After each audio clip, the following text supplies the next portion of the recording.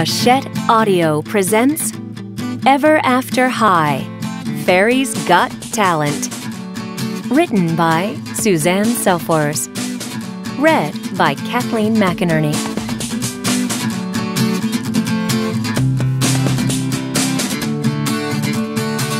For Alexa and Alyssa, who magically appeared in my life as if transported by fairy dust. Chapter 1 Wings and Things.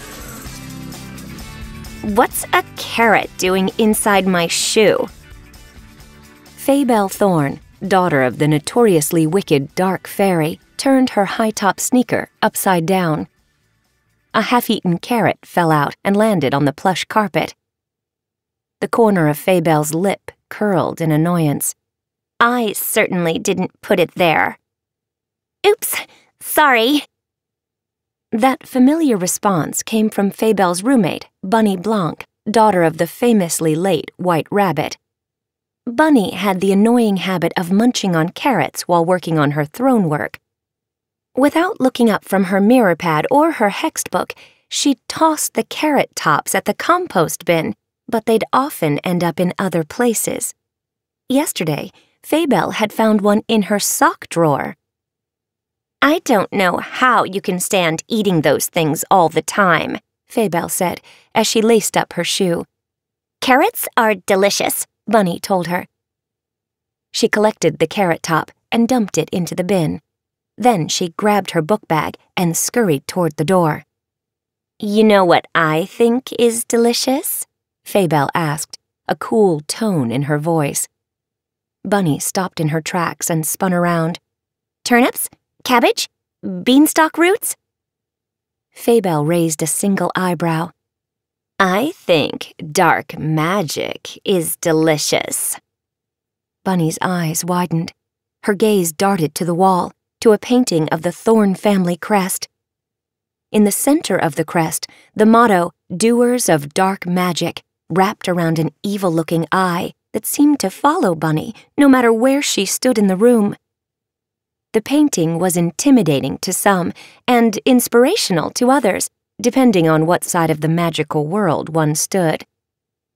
You can't eat dark magic, Bunny said, though she didn't sound entirely convinced.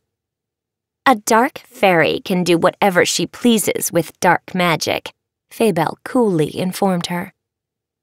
Bunny's nose twitched.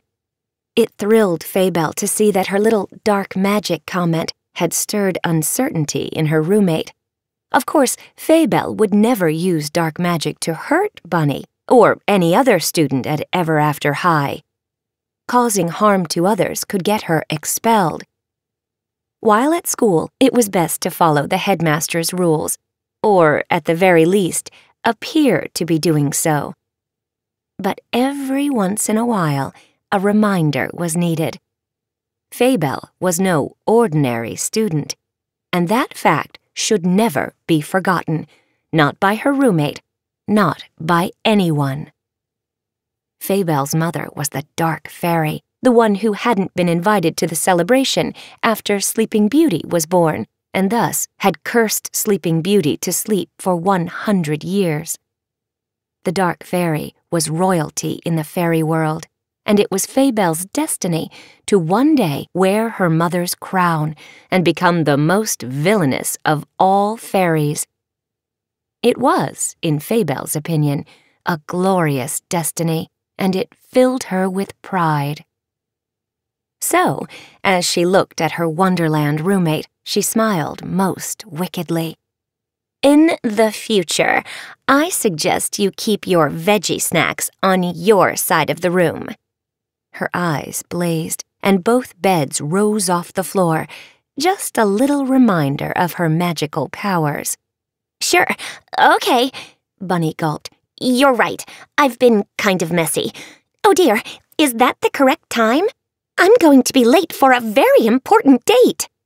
And off she went, as quickly as she could. Who could blame her for wanting to make her escape?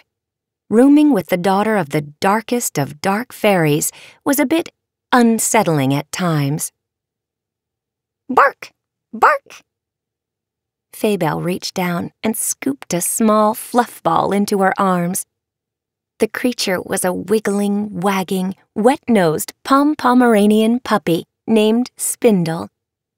These were the moments when Faybelle allowed her icy exterior to melt, for she loved Spindle with all her heart. This might have surprised some, but being a villain did not mean that Faybelle was incapable of love. Quite the opposite. Faybelle felt things deeply, and she loved her family with the ferocity of a fairy. Fairy hearts might be smaller than human hearts, but they beat with a rhythm that is powered by magic. Fairies are capable of love without measure. But so too are they capable of the darker emotions, also without measure. She kissed Spindle's head, hugged him, and laughed when he licked her cheeks. That's enough, little one, she said tenderly. I've got to finish getting dressed. It's a busy day, as usual. She set him on her bed. He stretched onto his tummy, watching while Faybelle finished tying her sneakers. Shoes in place, Faybelle walked over to her vanity, carefully stepping over a turnip top along the way. Aside from Bunny's tedious habit of eating raw vegetables, there was nothing wrong with Bunny. But Faybelle couldn't understand why the headmaster had chosen such a weird pairing for roommates. Why not select someone who, at the very least, was part of Faybelle's story? Like Briar Beauty, who Faybelle would someday curse to fall into a deep sleep for a hundred years. Or, if not a character from her story, why not choose another villain's daughter, like Lizzie Hearts or Ginger Breadhouse?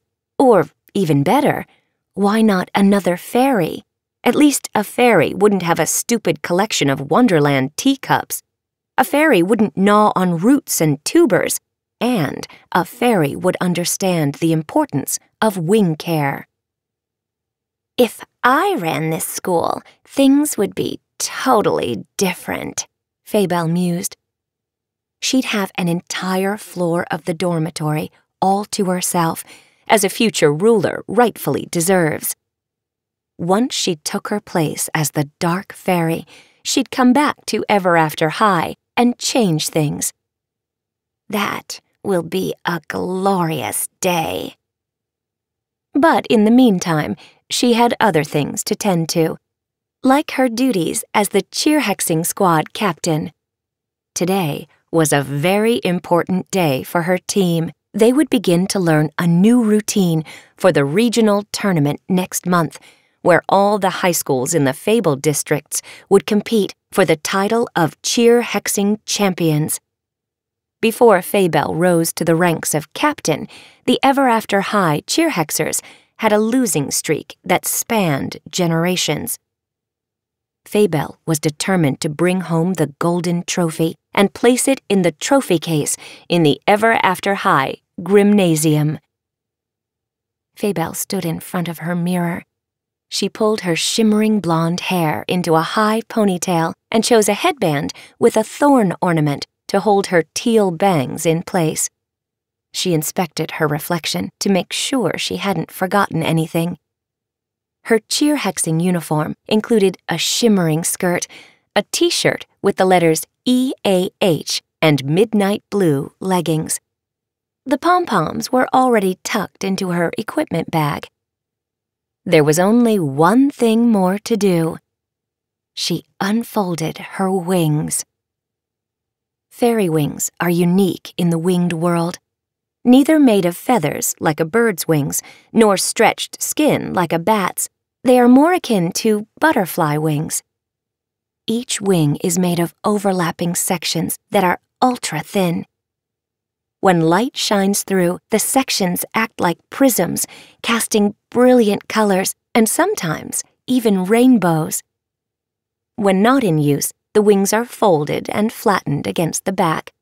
Fairy clothing was tailored to include wing holes, Faybelle's wings were so iridescent they complemented any outfit she chose. Faybelle glanced out the dormitory window. The morning was pleasantly sunny, the sky as blue as the icing on a throne cake. A perfect day for practice. She searched through the bottles, perfumes, and cosmetics on her vanity. She used many products to keep her wings healthy. After showering, she'd treat them with a leave on conditioner to keep them glossy and supple. Oh, there it is, she said as she grabbed a bottle. Then she reached over each shoulder and spritzed her wingtips with sunscreen. Always be proud of your wings, her mother had often told her. They set you apart from the rest of the fairy tale world. They are the symbol that you, my darling daughter, are made of magic. I certainly am, Faybelle thought.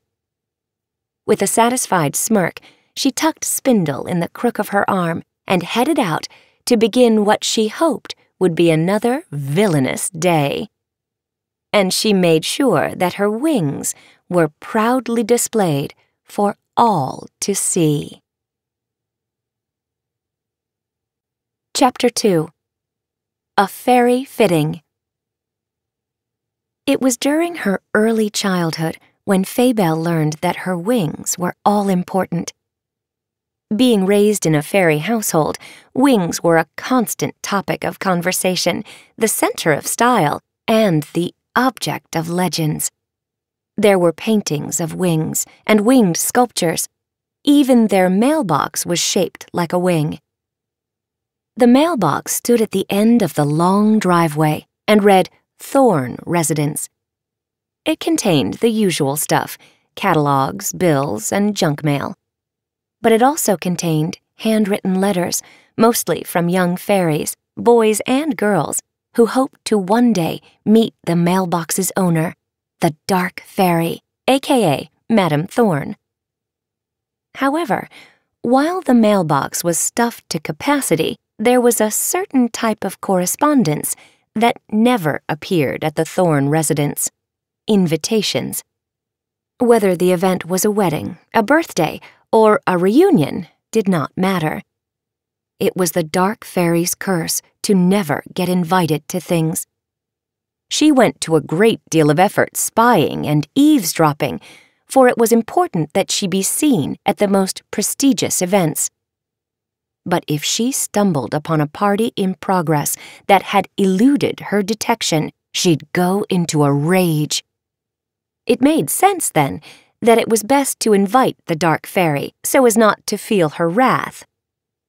But whether they intended to invite her or not, everyone forgot to invite her. That was the curse. Invitations were a sensitive subject in the Thorn household. A guardhouse stood next to the mailbox with a goblin in attendance. It was his duty to inspect documents and identifications before allowing entrance through the silver gates.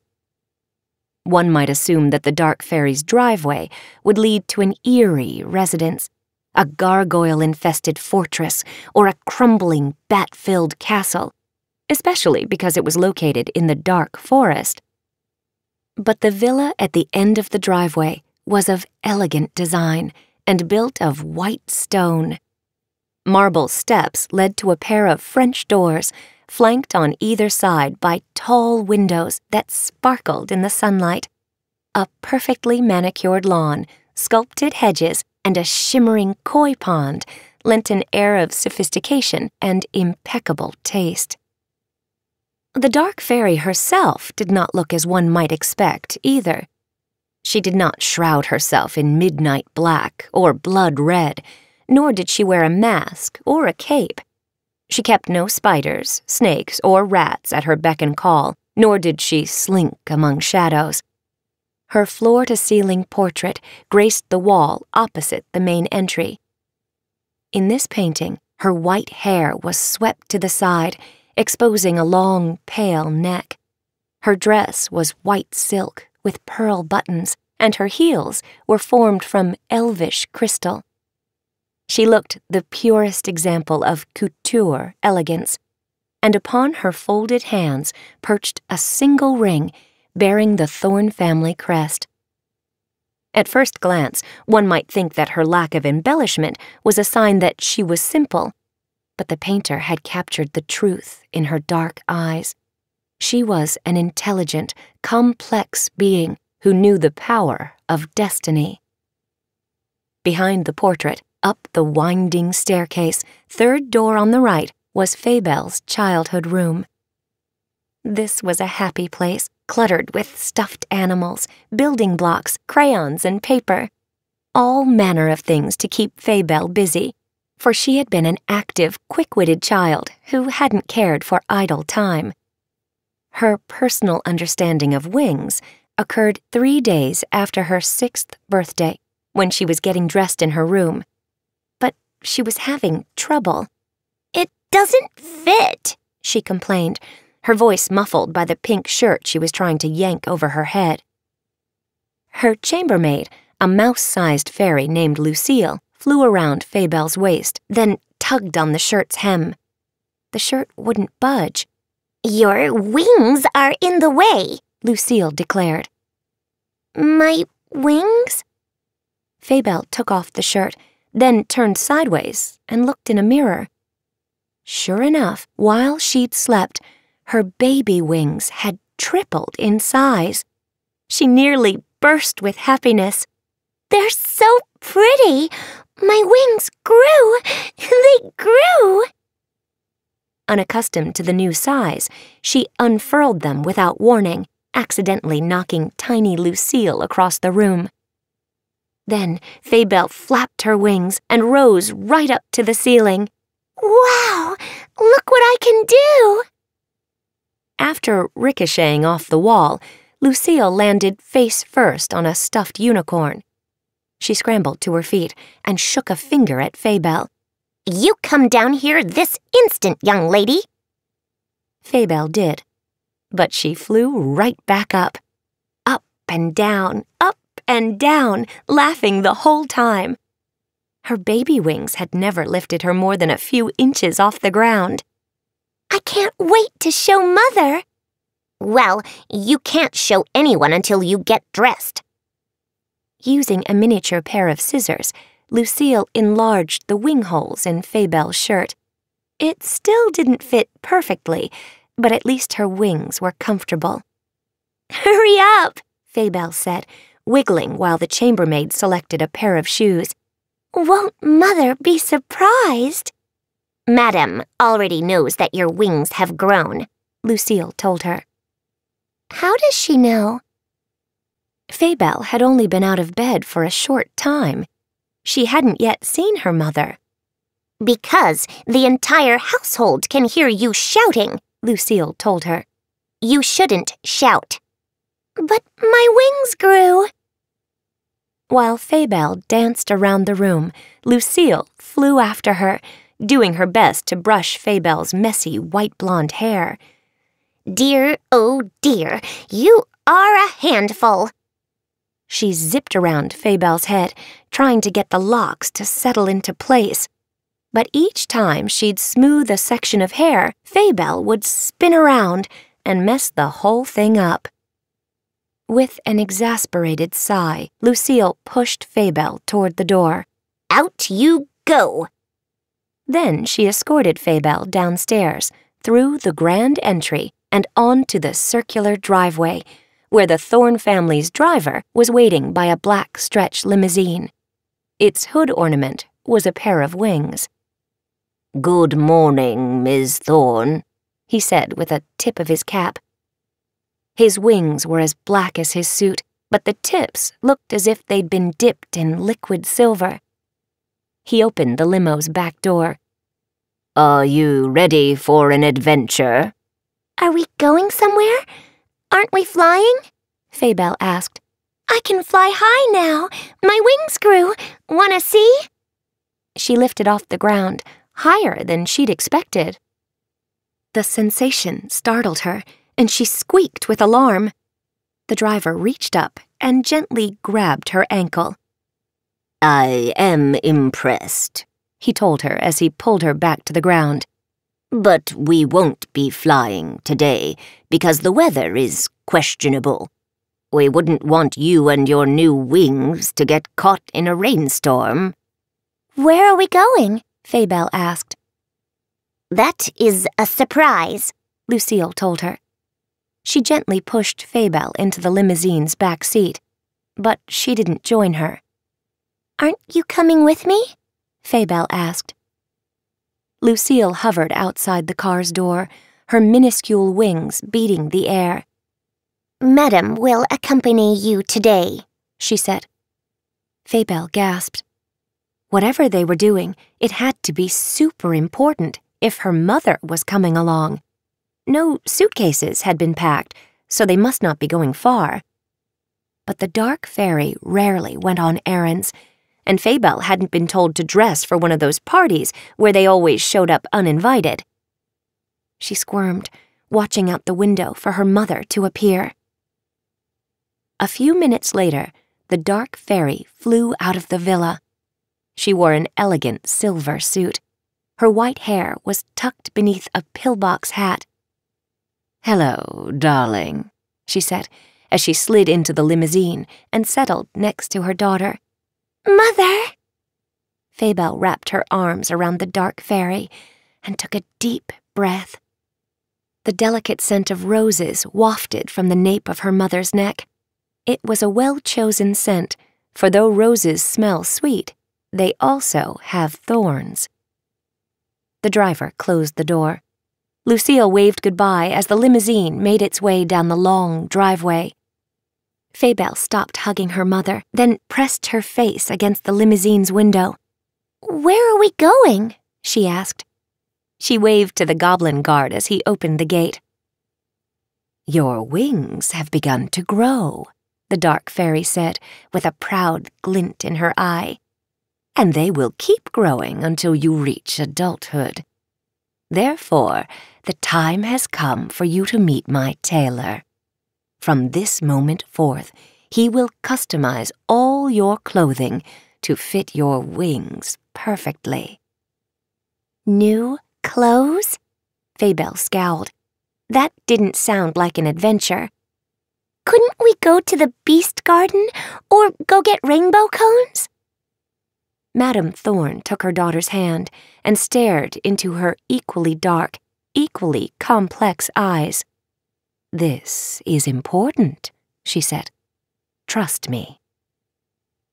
The journey to Fairytown took an hour, during which Faybelle wiggled and squirmed like a captive caterpillar in a jar.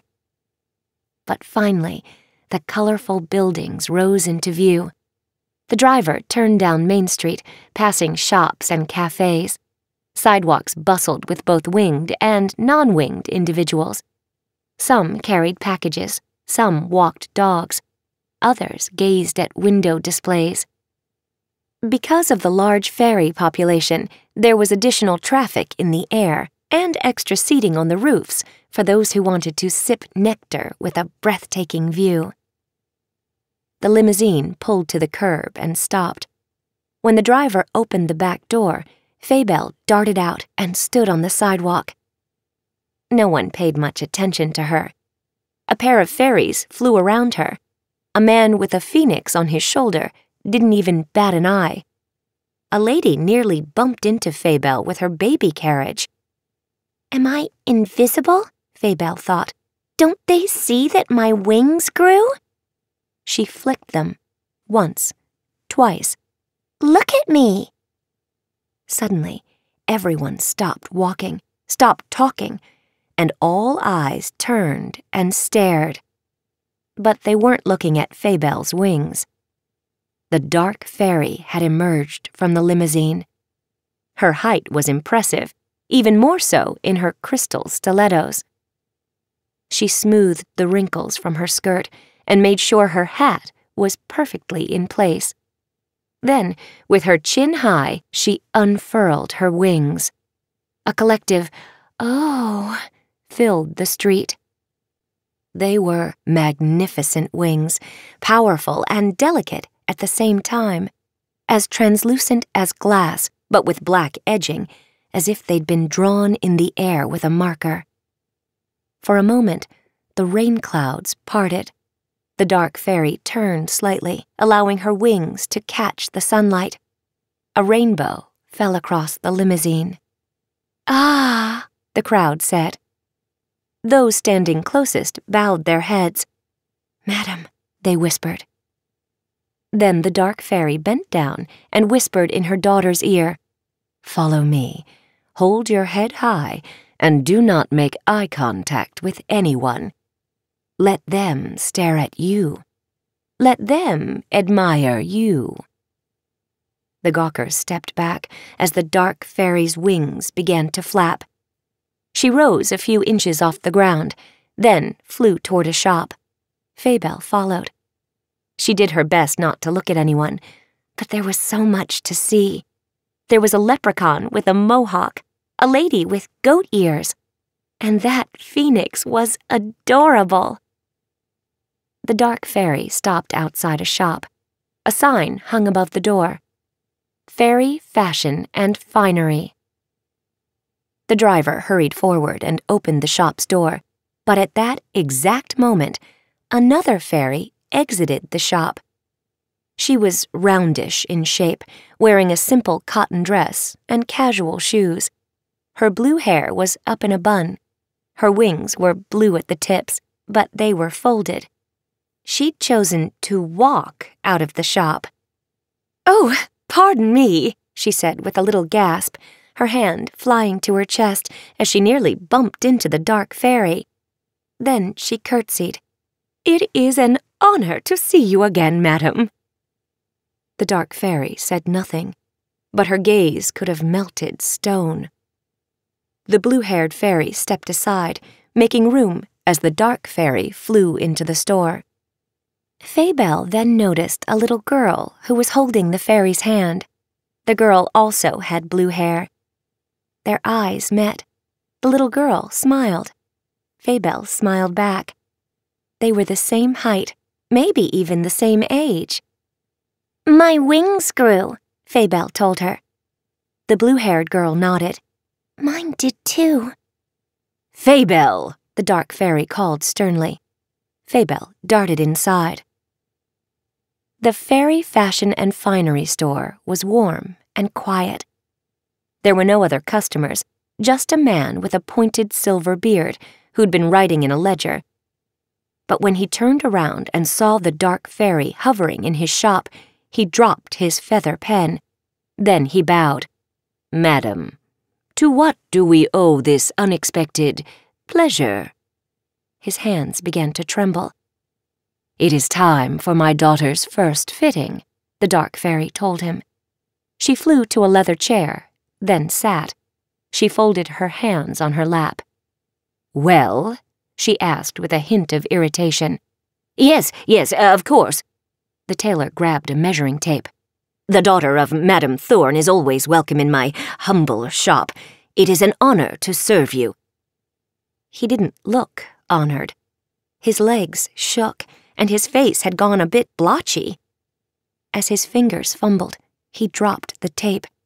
I do apologize for my clumsiness, he mumbled.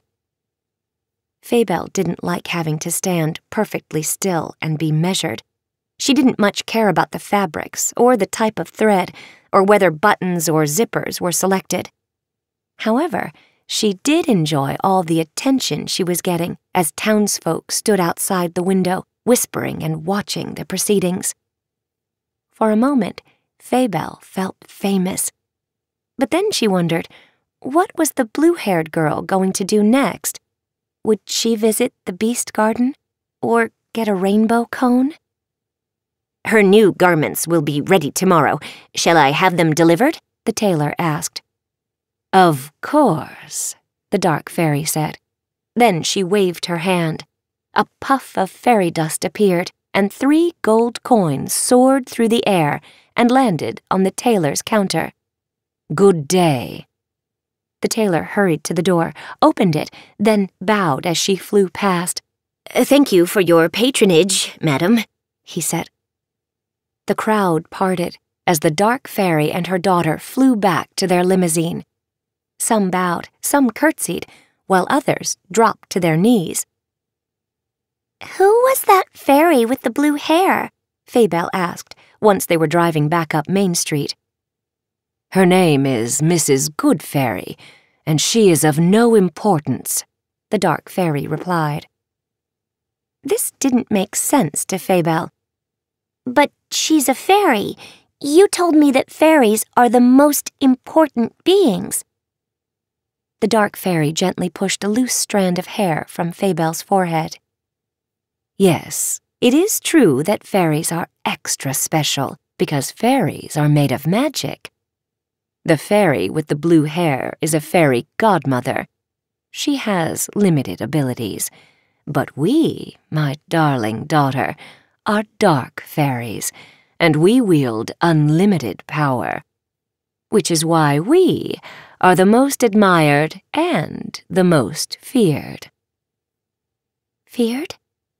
Faybelle realized the look she'd seen in the tailor's eyes and in everyone's eyes when looking at her mother. It had been fear.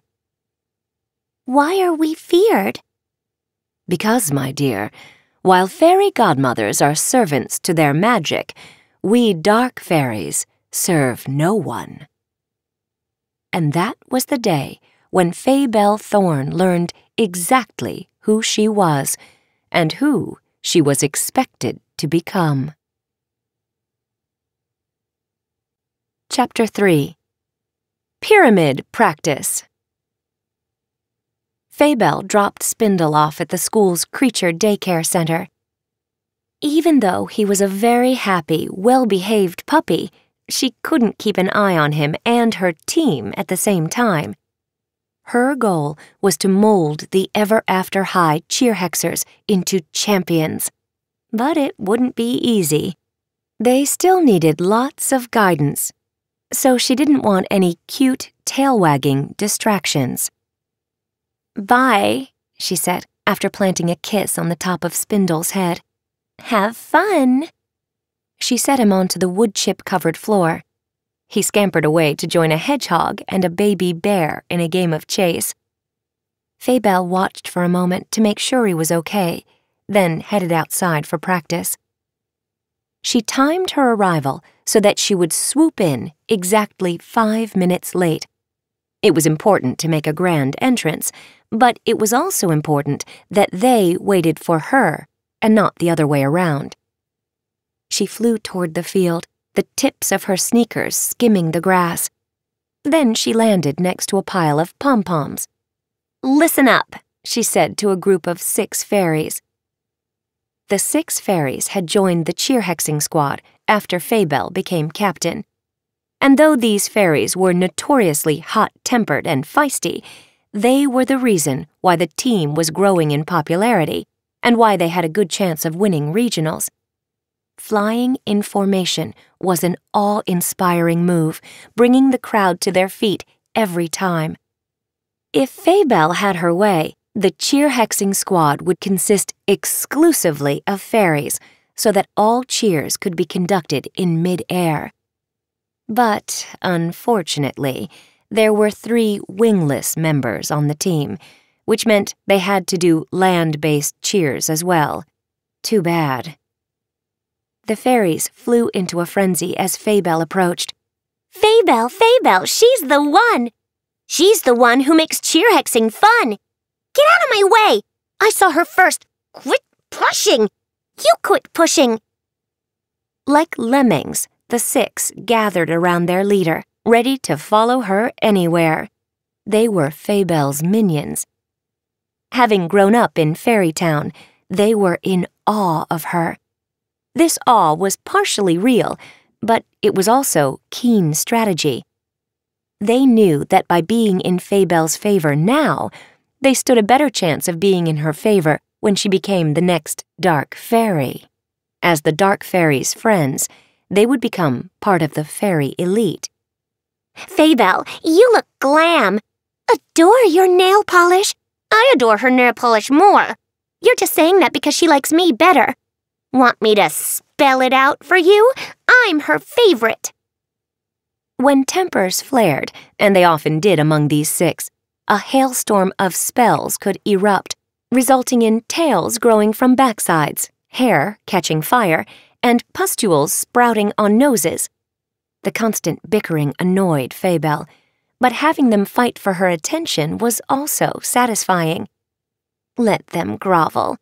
That's what minions are supposed to do. Faybelle raised a hand to silence them. They drew closer together, waiting for their captain to speak. Where's the rest of the team? There, a fairy said, pointing. Four students were hurriedly walking toward the field. A buff boy with brown hair, a tall girl with extremely long auburn hair, a petite girl with flaxen hair, and a winged girl with blue hair. Upon spotting the blue haired girl, the six sneered in the exact same way. Farrah, they whispered with disdain. For if there was one thing they could agree on, aside from showing loyalty to Faybelle, it was that they disliked Farrah Good Fairy, daughter of the fairy godmother from Cinderella's story. Faybelle joined them in the sneer. Farrah chose to walk alongside her friends, lowering herself to their ground level. Where was her fairy pride? And to make matters worse, Farrah had befriended a new student at school, Meeshell, daughter of the Little Mermaid. Not only did Meeshell lack wings, but she also practically turned into a fish when she was in water. A fish! Hi, Farrah called with a wave. You're all late, Faybelle said, hands on hips. Sorry, Hunter told her. It's my fault. I ripped my shirt. Hunter was the son of the huntsman, and being one of the most muscular guys on campus, he tended to wear out his shirts quite often. But Farrah fixed it. He pointed to his biceps. The shirt had been mended with shiny blue thread. I didn't use magic, Farrah said with a smile. I used real thread, so it's a permanent fix. It won't change back at midnight. You're so talented, Nina Thumbell, the flaxen haired girl, told her. Faybelle rolled her eyes. Fairy godmothers did one thing and one thing only. They make dreams come true, as Farrah liked to say, which was totally lame. They couldn't conjure black magic or cast evil spells. They could only make things look better like turning a ratty dress into a ball gown or transforming a pumpkin into a carriage. It was superficial magic and nothing, in Faybelle's opinion, to boast about. And it only lasted until the last stroke of midnight. What a joke! Okay, listen up, Faybelle said, clapping her hands to get everyone's attention. It's time to get started. We only have four weeks until regionals, so I expect everyone to be here on time, ready to work. Today we're going to learn a new pyramid formation. We're going to do an inverted pyramid. Inverted?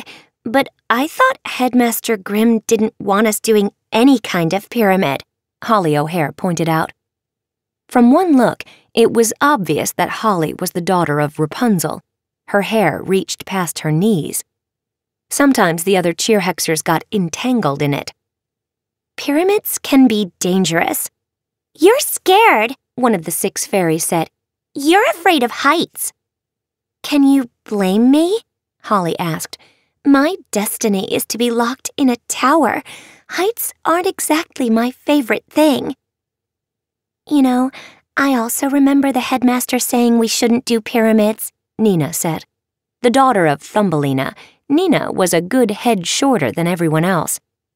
As the smallest member of the team, she was the most afraid of being crushed. Faybelle glowered. She didn't like being questioned. It was true that the last inverted pyramid they'd attempted had been a royal fairy fail.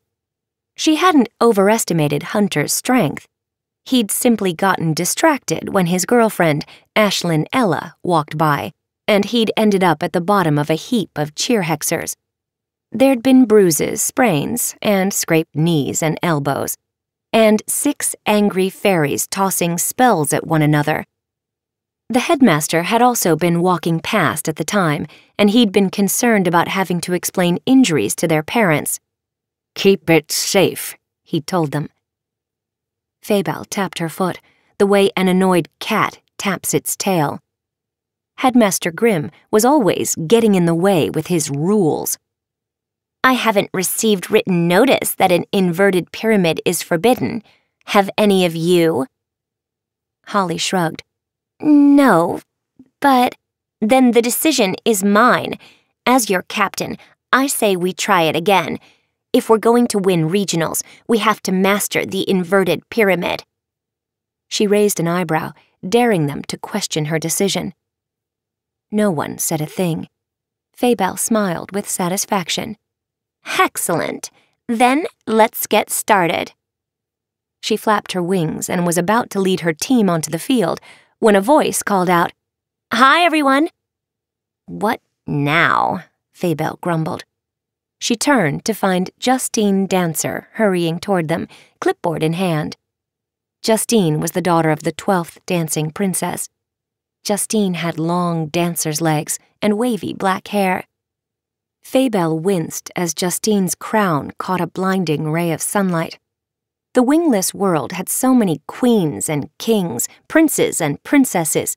It seemed as if half the population at Ever After High were royalty, destined for thrones. But in the fairy world, there was only one who ruled, only one who commanded the fealty of all fairies. Hey, can I talk to you? Justine asked. We're in the middle of practice, Faybelle said snippily. She hovered a few feet in the air. I just wanted to give you one of these. Justine pulled a flyer from her clipboard. I wrote a play for Theater Club. I'm going to direct and choreograph. Writer, director, and choreographer? Hunter asked. Wow, that's impressive. Congratulations, Farrah said. Justine blushed. Thanks. Faybelle landed in the grass, then stood face to face with Justine. Did you run all the way out here for some sort of purpose? Or did you just want to tell us how amazing you are? The six fairies snickered. Justine stepped back. Uh, she swallowed nervously. She knew, as did everyone in the fairy tale world, that it was never a good idea to annoy a fairy. I came out here because I'm holding auditions. You don't have to be a member of the theater club. We'd love some new talent. Faybelle read the poster. Once Upon a Spell. An original fairy tale written, directed, and choreographed by Justine Dancer. Produced by Ever After High's Theater Club. Open auditions. Saturday at noon in the Charmatorium sign up sheets posted on the Charmatorium door. Auditions? Faybelle folded her arms. Are you joking? My cheer hexers are athletes, not actors. Besides, they're way too busy to be in a play. I'm not, one of the six fairies said. Faybelle shot her a look. As I said, they're way too busy. What about you? Justine asked. Me? Faybelle smoothed her skirt. My schedule is wicked packed. I have a full course load with general villainy, history of evil spells, magicology, and home evilnomics. I'm on the royal debate team, I'm president of the villain club, and I'm captain of this team. I'm up to my wingtips in activities. Yeah, up to her wingtips. You tell her, Faybelle. Faybelle, Faybelle, she's the one. She's up to her wingtips, and that's no fun. Even if she had a gap in her schedule, Faybelle thought acting was a ridiculous waste of time. Why bother? Actors didn't end up leading kingdoms. How could being in some stupid play possibly help her future evil career? But Farrah, Hunter, Holly, and Nina had gathered around the flyer. I've never acted in a play, Farrah said. But I'd love to work on costumes. I can turn rags into silk and plastic beads into pearls. I'm pretty handy that way. And if you want the costumes to last past midnight, I also know how to sew by hand. She pointed to Hunter's shirt. That sounds great, but actually, I was hoping you'd audition, Justine told her. You see, I need someone who can fly for real. Why for real? Hunter asked. Can't one of your actors just put on a pair of wings and look like a fairy? A collective snort arose from Faybelle and her six fairies. Dream on, Faybelle said. I don't care if your actor has won the Golden Goblin Award. Fake wings will not make a human look like a real fairy. After all, we're made of magic. She and her fairy smiled wickedly, releasing little poofs of fairy dust from their fingertips like miniature fireworks. Holly and Hunter sneezed. Nina wiped fairy dust from her eyes. Justine blocked the dust with her clipboard. Under normal circumstances, anyone could audition for the fairy role, Justine explained. But Headmaster Grimm said I can't use ropes to mimic flying. The fairy dust settled, and she lowered the clipboard. I guess they did a play called Escape of the Golden Goose a few years ago, and the lead got tangled up in the ropes, flew into the audience, and fell right on top of Professor Rumpelstiltskin. She cringed. So I either cut the flight scenes from my play, or I find someone who can fly for the part. I don't want to cut the scenes. As I said, we're too busy, Faybelle told her. She was growing tired of all this talk about Justine's play. What a waste of time. You sure you won't audition? Justine asked Farrah. You could do costumes too if you wanted. I'd love to find a fairy for the role. Well, Farrah touched the tip of her nose as she considered the plea. It was a gesture she did quite often, one that some found adorable, but Faybelle found annoying as hex. Perhaps I could do both. Justine squealed with delight. She started to hug Farrah, but stopped midway. Oh, before you agree, I should probably tell you the roles for a fairy queen, a wicked fairy queen. Would you be okay with that? Faybelle's skin prickled. What did you just say? She rose a few feet in the air. Did you say a wicked fairy queen? Yes, She's not the leading role, but she's super important to the plot. Hunter nudged Farrah with his elbow. Go for it, he encouraged. It's good to do something unexpected. I mean, look at me. I was trained to track animals in the woods and to rescue damsels. When I told my friends I was going to try out for cheer hexing, they teased me. But as it turns out, I really like being on this team. Except that time when the pyramid collapsed. Yeah, go for it, Holly said, putting an arm around Farrah's shoulders. You'll be great, Nina added. Great? Anger made its way from Faybelle's toes to her wingtips. She wouldn't have been surprised if steam had shot out of her ears. A future fairy godmother was incapable of acting villainous Farrah was a meek little good fairy. Giving her the part of the wicked fairy queen would be like telling a kitten to become a lion. Okay, you convinced me, Farrah said with a giggle. Faybelle watched with disbelief as the little good fairy signed her name to Justine's audition sheet. I'll give it a try. Faybelle Thorn knew what she had to do. She didn't have to give it a try the wicked fairy queen was the role she'd been born to play. Move out of the way, she ordered, pushing between Farrah and Justine. Then she grabbed the pen and signed her name to the audition sheet.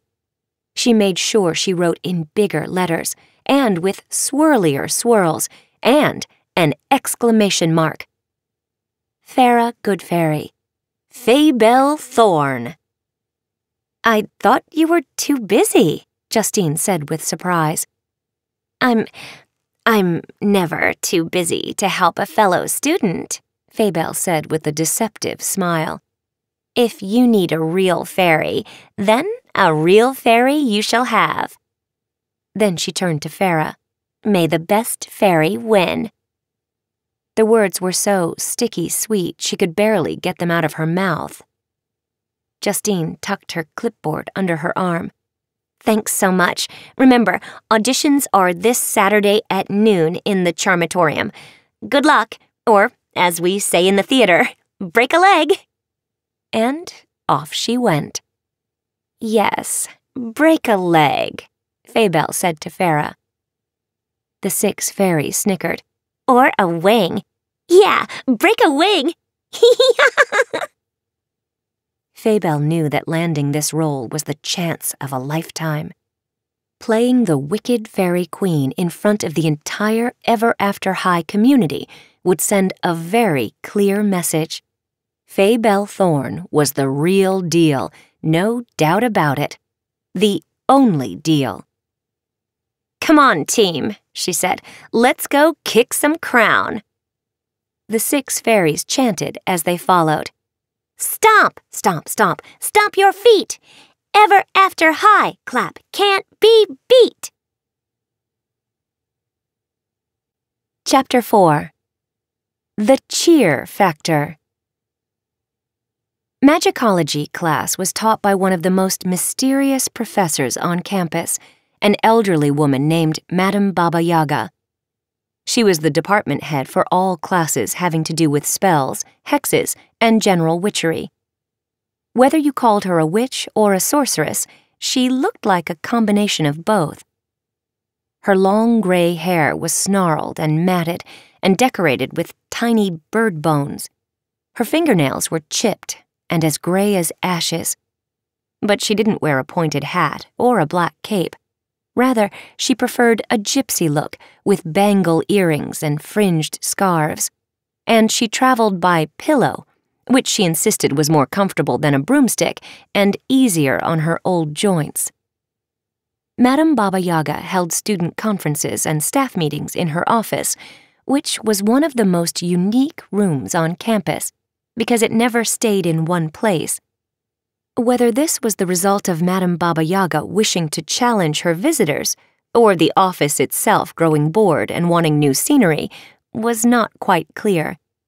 But throughout the day, the office would raise itself onto giant yellow chicken legs and rush around until it found a new location. Thus, meeting with the professor was always a chore, which totally annoyed Faybelle. Fortunately, the magicology curriculum included lots of experimentation, and that required a larger room, so it was taught in a laboratory that never changed location. A footbridge over a moat, three flights of stairs, and two hallways were all that was required of the students to get to class. It was a grand room with tall windows, stone archways, and walls lined with bookshelves. Lab tables were set up on one side, with rows of chairs on the other side for lectures. Magicology was reserved for students who could wield magic, the sons and daughters of witches, warlocks, sorcerers, and, of course, fairies. Faybelle and her six fairy cheerhexers were the first to arrive. They claimed the front row, as they always did. Being in the front row meant the rest of the class could see Faybelle even if it was just the back of her head. But nonetheless, her presence was known, unlike those who chose to sit quietly in the back row, wanting to go unnoticed. Like Raven Queen, daughter of the Evil Queen. Without turning around, Faybelle was aware of Raven's presence. Fairy senses are finely tuned instruments. Raven used the same shampoo every day, Moonlight Essence, the moment Faybelle detected the scent, she knew her nemesis was near. There was no reason for Faybelle to feel threatened by Raven's presence in magicology. Though destined for villainy, Raven refused to embrace dark magic.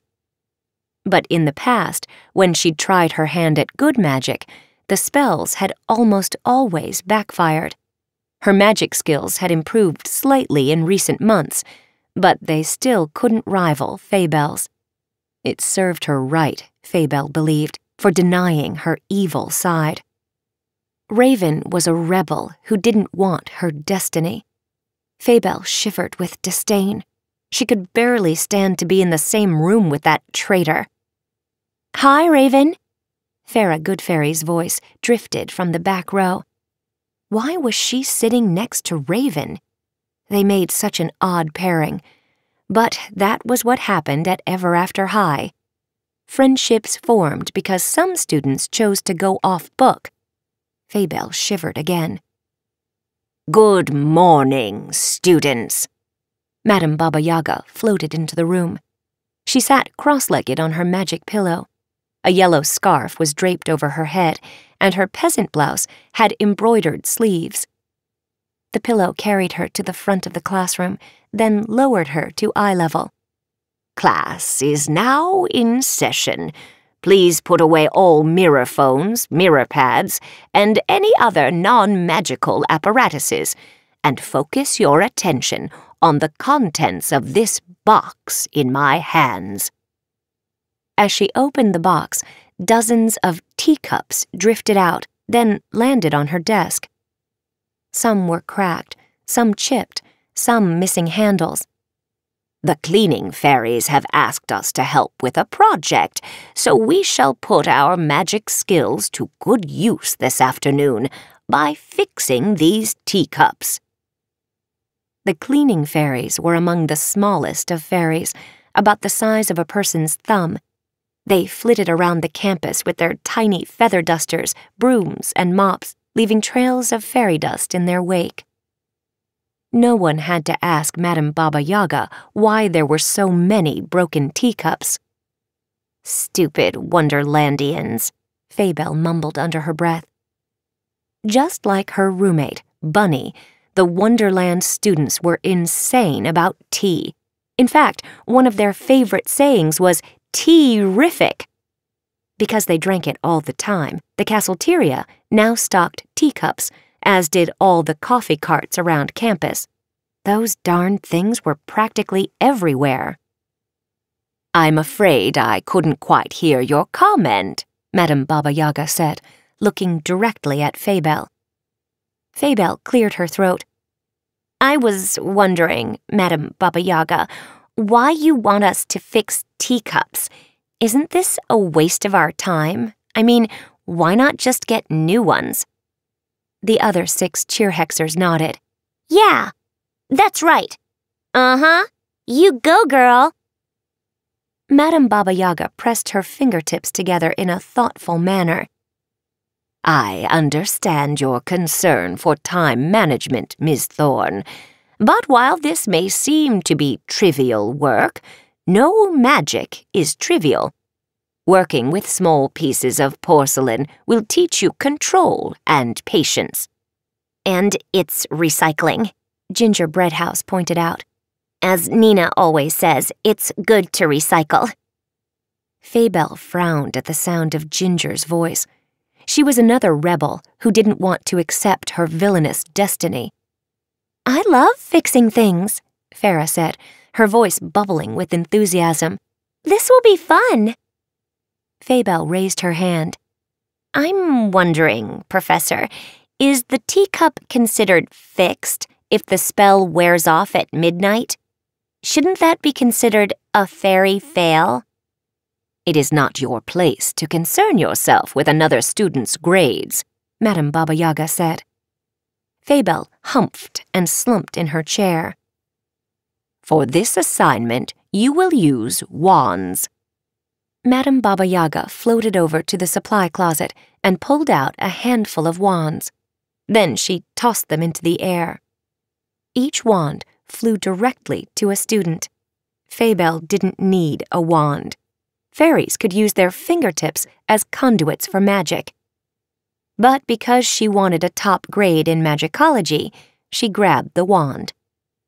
Madame Baba Yaga then distributed the broken cups so that each student had a small pile on his or her desk.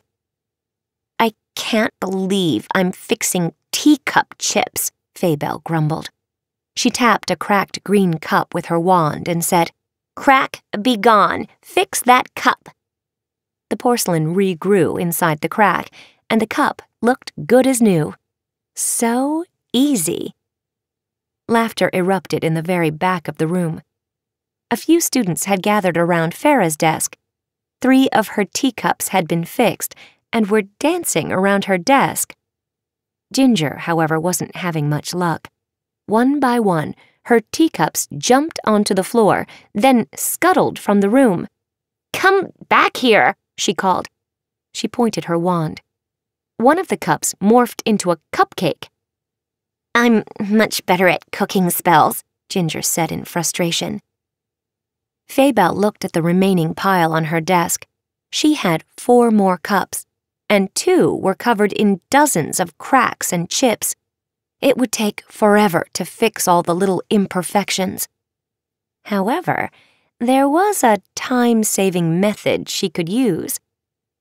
Faybelle smiled wickedly, for she had a special talent. She could take any spell and make it more powerful with a cheer hex. She called this the cheer factor. So she stepped away from the table, pulled her pom poms from her bag, and cheered. Fix them up, rustle, rustle. Fix them up, rustle, rustle. Cracks be gone. Stomp, stomp. Fix these cups. Stomp, stomp. With a proud smirk, Faybelle set her pom poms aside and watched her spell take root. Fairy dust swirled around the cups as the porcelain began to regrow. But then the cheer hex took an unexpected turn. Even after the cracks had been filled, the porcelain kept growing and growing. Each cup swelled, then exploded. Eek! Ginger cried as a storm of porcelain shards flew at her. She covered her face as they landed on her pink dress. Their sharp edges tore the fabric like tiny claws. Faybelle narrowed her eyes. That wasn't the result she'd expected. But then again, a shower of sharp teacup shards could be considered evil. She might get extra credit. Are you okay? Raven asked. Yes, but. Ginger held up her hand. I pricked my finger. She looked nervously at Faybelle. Everyone looked at Faybelle. Raven stepped forward. Faybelle, did you do that on purpose?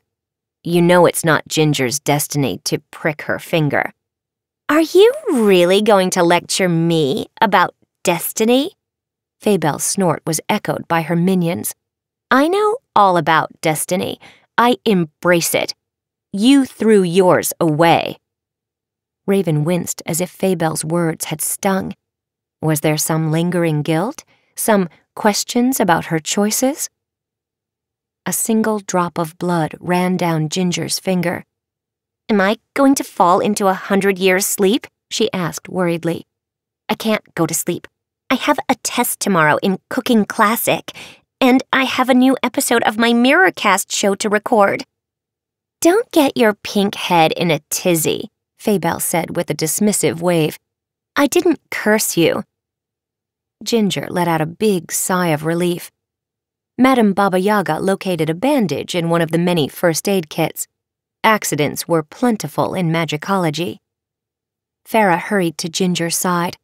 I can't heal your finger, but I can fix your dress if you'd like. Ginger's face lit up. Yes, would you, please? Farrah looked to Madame Baba Yaga for permission. She nodded. Farrah waved her wand in the air. A little musical sound emerged, and a trail of fairy dust swooped around Ginger. In the blink of an eye, Ginger's dress was lovely again. As good as new, Farrah said.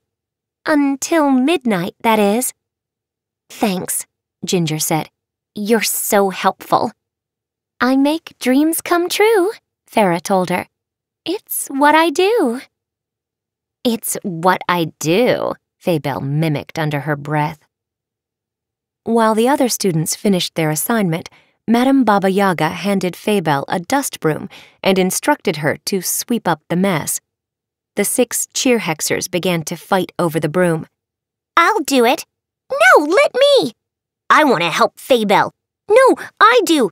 Stop kicking me. Only if you stop kicking me. Can't we just call the cleaning fairies? Faybelle asked. There is a wise old saying, Madame Baba Yaga said. She who cleans up her own mess learns to not make it the next time. With a flick of her wrist, the dust broom landed in Faybelle's hand.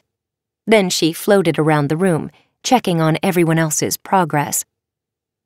As Faybelle swept up the shards, she tried to hide her frustration. Her attempt to impress everyone had failed, but at least Raven hadn't impressed them either. Just as the dismissal bell rang, Faybelle dumped the shards into the garbage. She grabbed her equipment bag and was about to leave when Madame Baba Yaga called her name. Miss Thorn, a word with you. Chapter 5 A Bit of Advice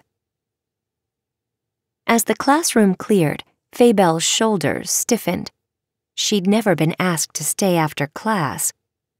Yes, Professor? Faybelle didn't smile sweetly or bat her lashes.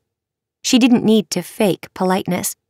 A villain was a villain, and Madame Baba Yaga would never try to change that.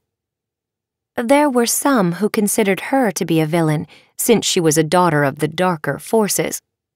But Faybelle had never witnessed villainous behavior from the elderly professor. Strict behavior, certainly, but never evil.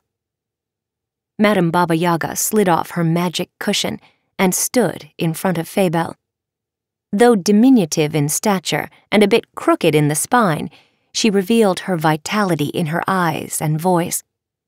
It is apparent to me that you are not fond of Ms. Queen. Well, that's putting it mildly, Faybelle said. I detest her. Raven is a rebel, and she ruined her story. What makes you believe that Ms. Queen has only one story? What do you mean? Our stories contain many chapters, Miss Thorn. Cursing Sleeping Beauty was just one chapter in your mother's life.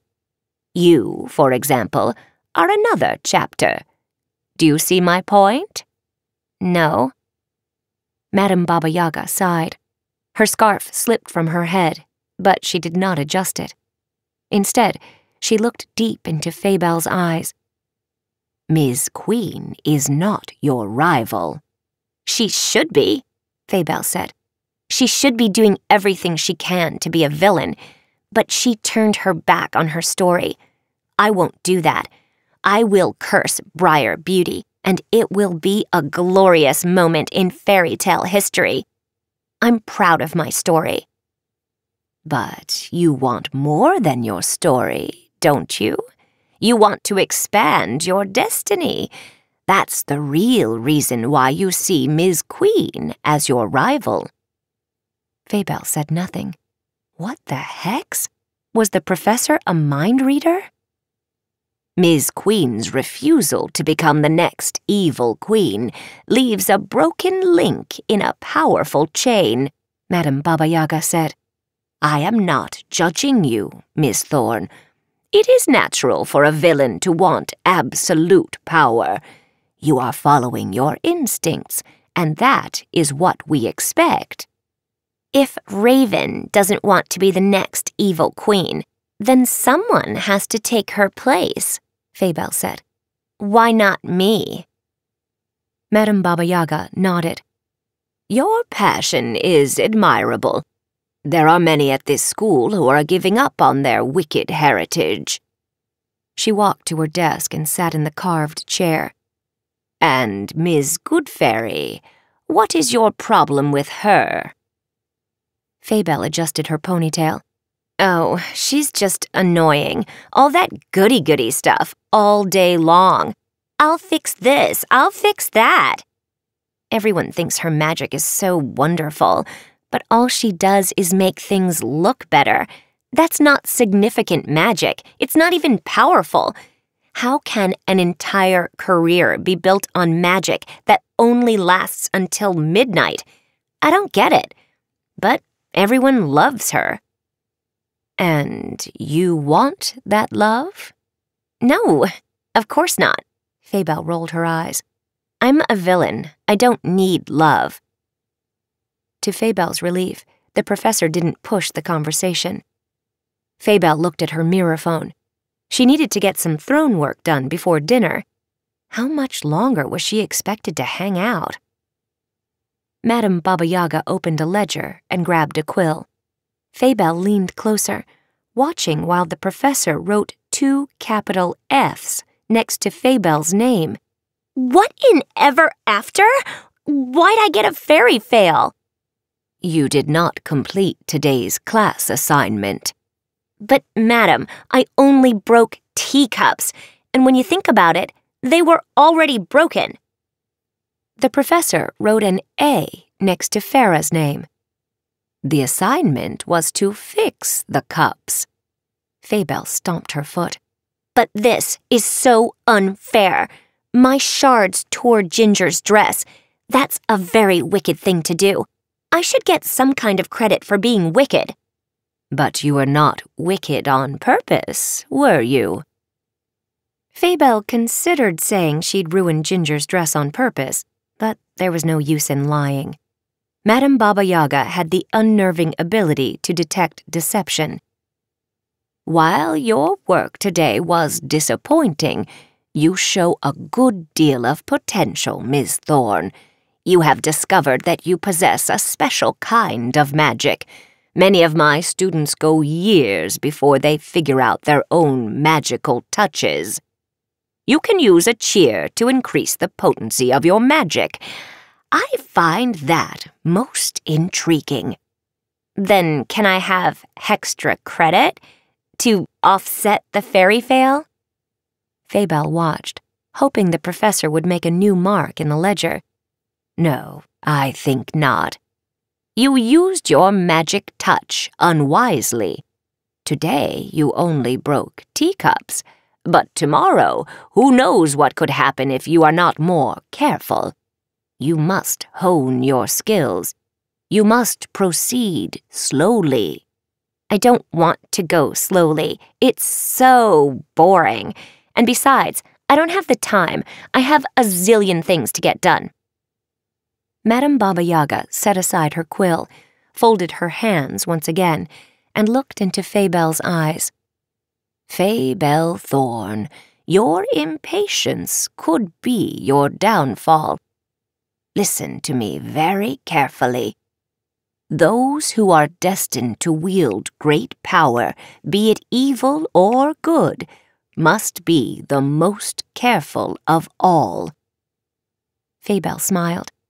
You think I'm destined to wield great power? If you so choose. I do choose. I do. Then have fortitude, Miss Thorn. Don't rush the process. Your magic will grow as you grow. It will mature as you mature. You scared Miss Breadhouse today, and some other students too. They should be scared of me. Faybelle said proudly.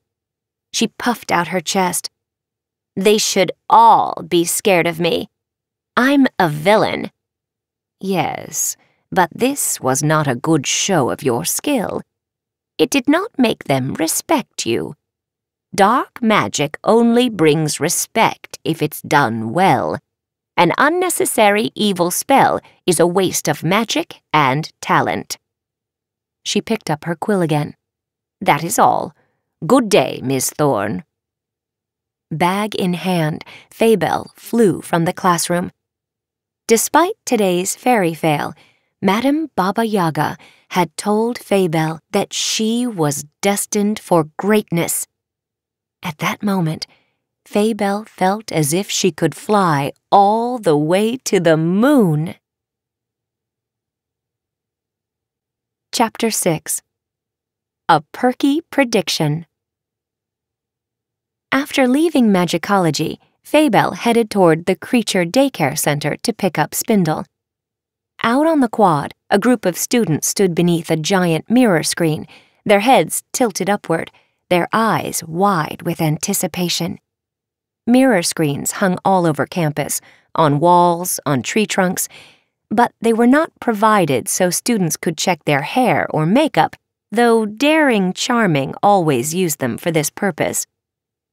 The mirror screens were for school-wide communication. Headmaster Grimm used them to deliver his constant announcements, and Blondie Locks used the screens to broadcast her Mirrorcast show, Just Right, a daily dose of journalism, gossip, and commentary about the deeds, doings, goings on, and goings wrong at Ever After High. Blondie's show was what the students were eagerly awaiting. Blondie's smiling face appeared in the center of the mirror screen. Her blonde curls bounced as she talked. Her baby blue eyes were practically electric. She possessed the kind of energy that always sent a chill of revulsion down Faybelle's spine. Perkiness, that's what it was. Pure, undiluted perkiness. Blondie practically bubbled over with the stuff. But though Blondie was an annoying chatterbug, Faybelle stopped to listen. Blondie was always in the know, and that was an enviable talent. Hello, fellow fairy tales, Blondie said. It's time for a brand new edition of Just Right. Theme music began to play. As usual, I have the latest scoop on what's happening at Ever After High. The theme music faded. On this very day, both Faybelle Thorn and Farrah Goodfairy signed up to audition for the role of the Wicked Fairy Queen in the theater club's upcoming play, According to my sources, neither Farrah nor Faybelle has any acting experience, so this should be interesting. Here to discuss the situation is Justine Dancer, the play's director, writer, and choreographer. It wasn't unusual for Faybelle to be mentioned on Blondie's show. There'd been a report about her selection as cheerhexing captain, another report about her campaign and election as Villain Club president, and a string of reports about the time she'd competed for the title and should have won Next Top Villain. Even though she still needed to get Spindle and she had a ton of throne work, she decided to stick around and watch the show for a few minutes. Blondie always had an opinion, and if Justine was favoring someone for the role, Blondie would get her to admit it. The camera shot widened to make room for Justine. She and Blondie sat side by side. They both had so many waves and curls their hair filled the entire screen. Blondie didn't waste a second. Tell us, Justine, who do you think will make a better Wicked Fairy Queen, Faybelle or Farrah? I don't know, Justine said with a shrug. My decision will be based on their auditions. But doesn't it seem to you that Faybelle was made for the part? She's perfectly wicked. She has evil in her blood. I've seen her lose her temper, and she can be downright dangerous. A couple of students who'd been standing next to Faybelle sidestepped, creating a wide berth between themselves and the evil-blooded fairy. Blondie held the microphone closer to Justine. The very nature of acting is to pretend to be someone different from oneself, Justine explained. Often, it's more difficult to play a part that's similar to who you really are. That's ridiculous, Faybelle thought. Because her blood coursed with evil DNA, playing the wicked fairy queen would be super easy. But Farrah was way too sweet. So sweet, she was probably made of candy, not magic. Well, I still think it would be fun to take a poll of the students. Blondie looked into the camera. What do you think, fellow fairy tales? Will Faybelle or Farrah prove to be the better actor and get the part? Hext me right now. All the students in the quad pulled out their mirror phones and began hexting. Faybelle didn't bother. She felt a bit uneasy. If this was a popularity contest, Farrah might stand a chance at winning, but only because she was a goody two wings. If the students really thought about it, really weighed the options of a silly future fairy godmother versus a malevolent future dark fairy, then there'd be no contest. Justine held up her clipboard. There's still room on the audition sheet, so if anyone watching would like to try out, please add your name. The sheet will be posted outside the Charmatorium. Auditions are this Saturday. Along with the Wicked Fairy Queen, we'll need actors to play the Forgetful Prince, the Melancholy Princess, the Elderly King, and a family of trolls. We'll also need singers for chorus members and dancers for the dance troupe. Oh, the hexts are coming in, Blondie reported as she read from her own mirror phone. From early results, I can tell you that Farrah Goodfairy is definitely favored to win the role. That doesn't matter to me, Justine said, shrugging. My decision will be based on the actual audition. Well, you heard it here. Farrah is favored to win. Blondie leaned so close to the camera you could count her freckles. Thanks for watching. I'll see you next time with the latest scoop. Remember, if it's not too hot or too cold, it's just right. The mirror screen went dark. Everyone turned and stared at Faybelle. Her wings stiffened. She felt her cheeks go red. What are you do-gooders looking at? she snarled. You know I'm made for that part. Then she flew off in a huff. Blondie's prediction would not come to pass. She couldn't read the future. She wasn't even magical. At the Creature Daycare Center, Faybelle collected Spindle. The little puppy was tuckered out. Though the hedgehog had rolled himself into a ball, the baby bear had proved to be as rambunctious as Spindle, and they'd chased each other for hours. Faybelle gently set him into the puppy carrier and was about to leave when Farrah entered the center. Hi, Faybelle, she said, but she didn't smile in her usual way. She looked a bit sheepish. Uh, did you watch Blondie's show? Faybelle said nothing. Don't pay any attention to that nonsense, Farrah said. It doesn't matter what the student body thinks. It's up to Justine. And I'm sure you're a much better actor than I am. She reached into the sawdust-filled pen. A little mouse climbed onto her hand. Clydesdale loves coming here. There are so many critters to play with. She stroked the mouse's ears. Your puppy is very cute. Faybelle continued to give her a cold shoulder. Why was Farrah being so friendly? Didn't this girl know anything about competition? Have you chosen your monologue? Farrah asked. This question surprised Faybelle so much she broke her silence. My what? Your monologue. You know, for the audition. You have to memorize it. I'm supposed to memorize something? If there was one thing Faybelle hated, it was the feeling of being left out. Left out of parties, of course, but equally distressing was being left out of information. I thought we just showed up and read from the script. Oh no, you're supposed to have a two minute monologue prepared. You have to memorize it and perform it. Faybelle clenched her hand around the puppy carrier's handle. She squeezed so hard, her hand began to ache. This was preposterous.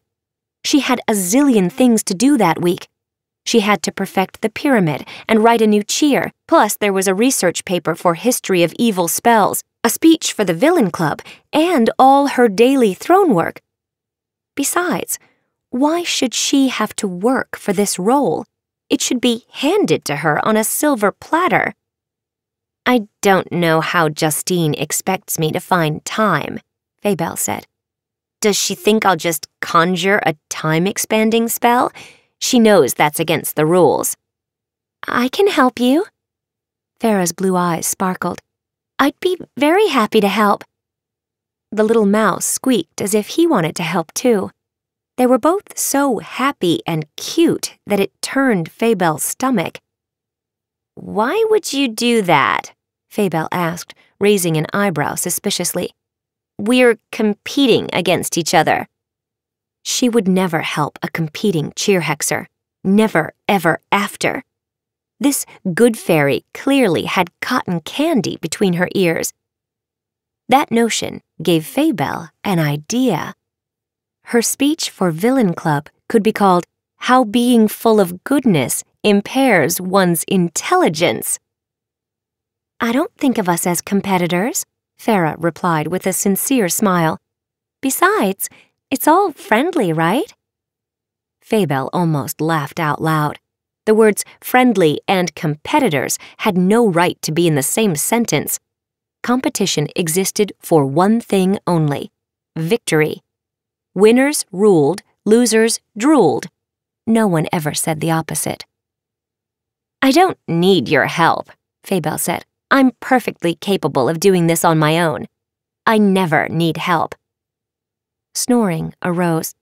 Spindle had fallen asleep, exhausted from his playdates.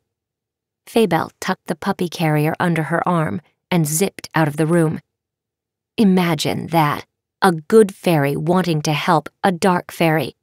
Didn't anyone in this school know her place? But as Faybelle rounded the corner, a thought filled her mind, an idea as brilliant and sparkly as fairy dust. Practicing her audition with Farrah would be the perfect way for Faybelle to check out her competition. And that would be so much easier than sending the cheerhexers to spy. They always got distracted or ended up bickering. If Faybelle wanted to get something done correctly, she knew it was best to do it herself. She turned around and flew back into the creature daycare center. Farrah was setting her mouse into a tiny carrier. On second thought, Faybelle said, I do have a bit of time right now, if you insist. Oh, that's great news. How about we go into my room? I have a book on monologues that I checked out from the library. She picked up her tiny carrier and whispered through the little window, What do you think about that, Clydesdale? We're going to have guests. The mouse squeaked again. Faybelle Thorn, daughter of the Dark Fairy, was on her way to the room of a good fairy. Life at Ever After High was certainly full of surprises. Chapter 7 Light and Dark There'd been a time in her younger years when Faybelle hadn't cared whether her friends were descended from evil bloodlines. She'd just wanted to have fun. If you lived in Fairytown and you received a notice to send your offspring to a playdate at the Dark Fairy's villa, you did not refuse. All sorts of children filled Faybelle's summers with laughter and games, but one in particular was her favorite. It was the summer before kindergarten, and Ginger Breadhouse, daughter of the Candy Witch, visited once a week. The first time they met, Faybelle was speechless. She stared open mouthed at the strange woman who was holding the little girl's hand. Lucille, the chambermaid, flew around Faybelle's head, then whispered in her ear, She's a witch. Ginger's mother was not just a witch. She was a wicked witch, and she looked the part with her matted green hair, pointed black hat, ragged black dress, and battered military boots. The dark fairy greeted her guests. Faybelle, darling, I'd like you to meet the Candy Witch and her adorable daughter, Ginger. Hello, dearie, the witch said. She leaned close to Faybelle. Would you prefer to be baked or fricasseed? Faybelle gulped. I'm kidding, of course. The witch cackled. It's a joke! a joke! My mom doesn't eat kids, Ginger said with a smile. She had bright pink hair that was pulled into two pigtails. She never ate Hansel or Gretel. That's just a mean thing people say about her. Ginger held out a plate of cookies. These are for you.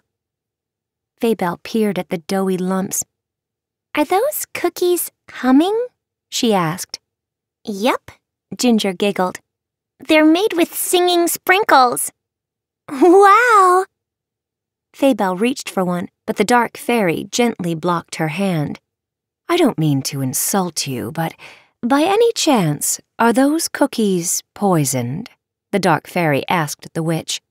Poisoned? She burst into a fit of cackling. Of course not.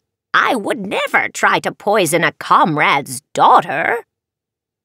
Faybelle turned and looked at Lucille, who was hovering beside her ear. Comrade? Faybelle whispered. They are comrades because they are both villains, Lucille whispered in return. Go on, girls. Go play while the Candy Witch and I visit, the Dark Fairy said. But don't bother the goblin guards, and don't go near the dragon. He hasn't been fed yet. With squeals of delight, each girl grabbed a cookie and ran outside. Faybelle ate her cookie in two bites. Ginger put an ear to Faybelle's tummy. It's still humming, she said. They both fell over laughing. Those summer days were lovely and carefree rolling in the grass, leapfrogging through the gardens, splashing in the koi pond. Ginger always brought new and unpoisoned treats, like massive macaroons, spelly donuts, and cinnamon trolls. It was childhood at its best. One evening, after a day of playing with Ginger, Faybelle sat at the long dining table with her mother. Faybelle's cheeks were rosy from the sun, and her little wings were tired. Mother, she asked as she stuck her spoon into a bowl of fairy berry sherbet, why don't you look like a villain? What do you mean? the dark fairy asked. I mean, Ginger's mom looks like a witch, and the sorcerer at the end of the street looks like a sorcerer, but you don't wear black capes or black hats. You don't wear black at all. How delightfully observant of you. The dark fairy sat back in her chair and smiled approvingly at her daughter. Black is used in stories to represent dark forces, this is true, while light is used in stories to represent goodness. But light isn't good or bad. Light has no moral compass.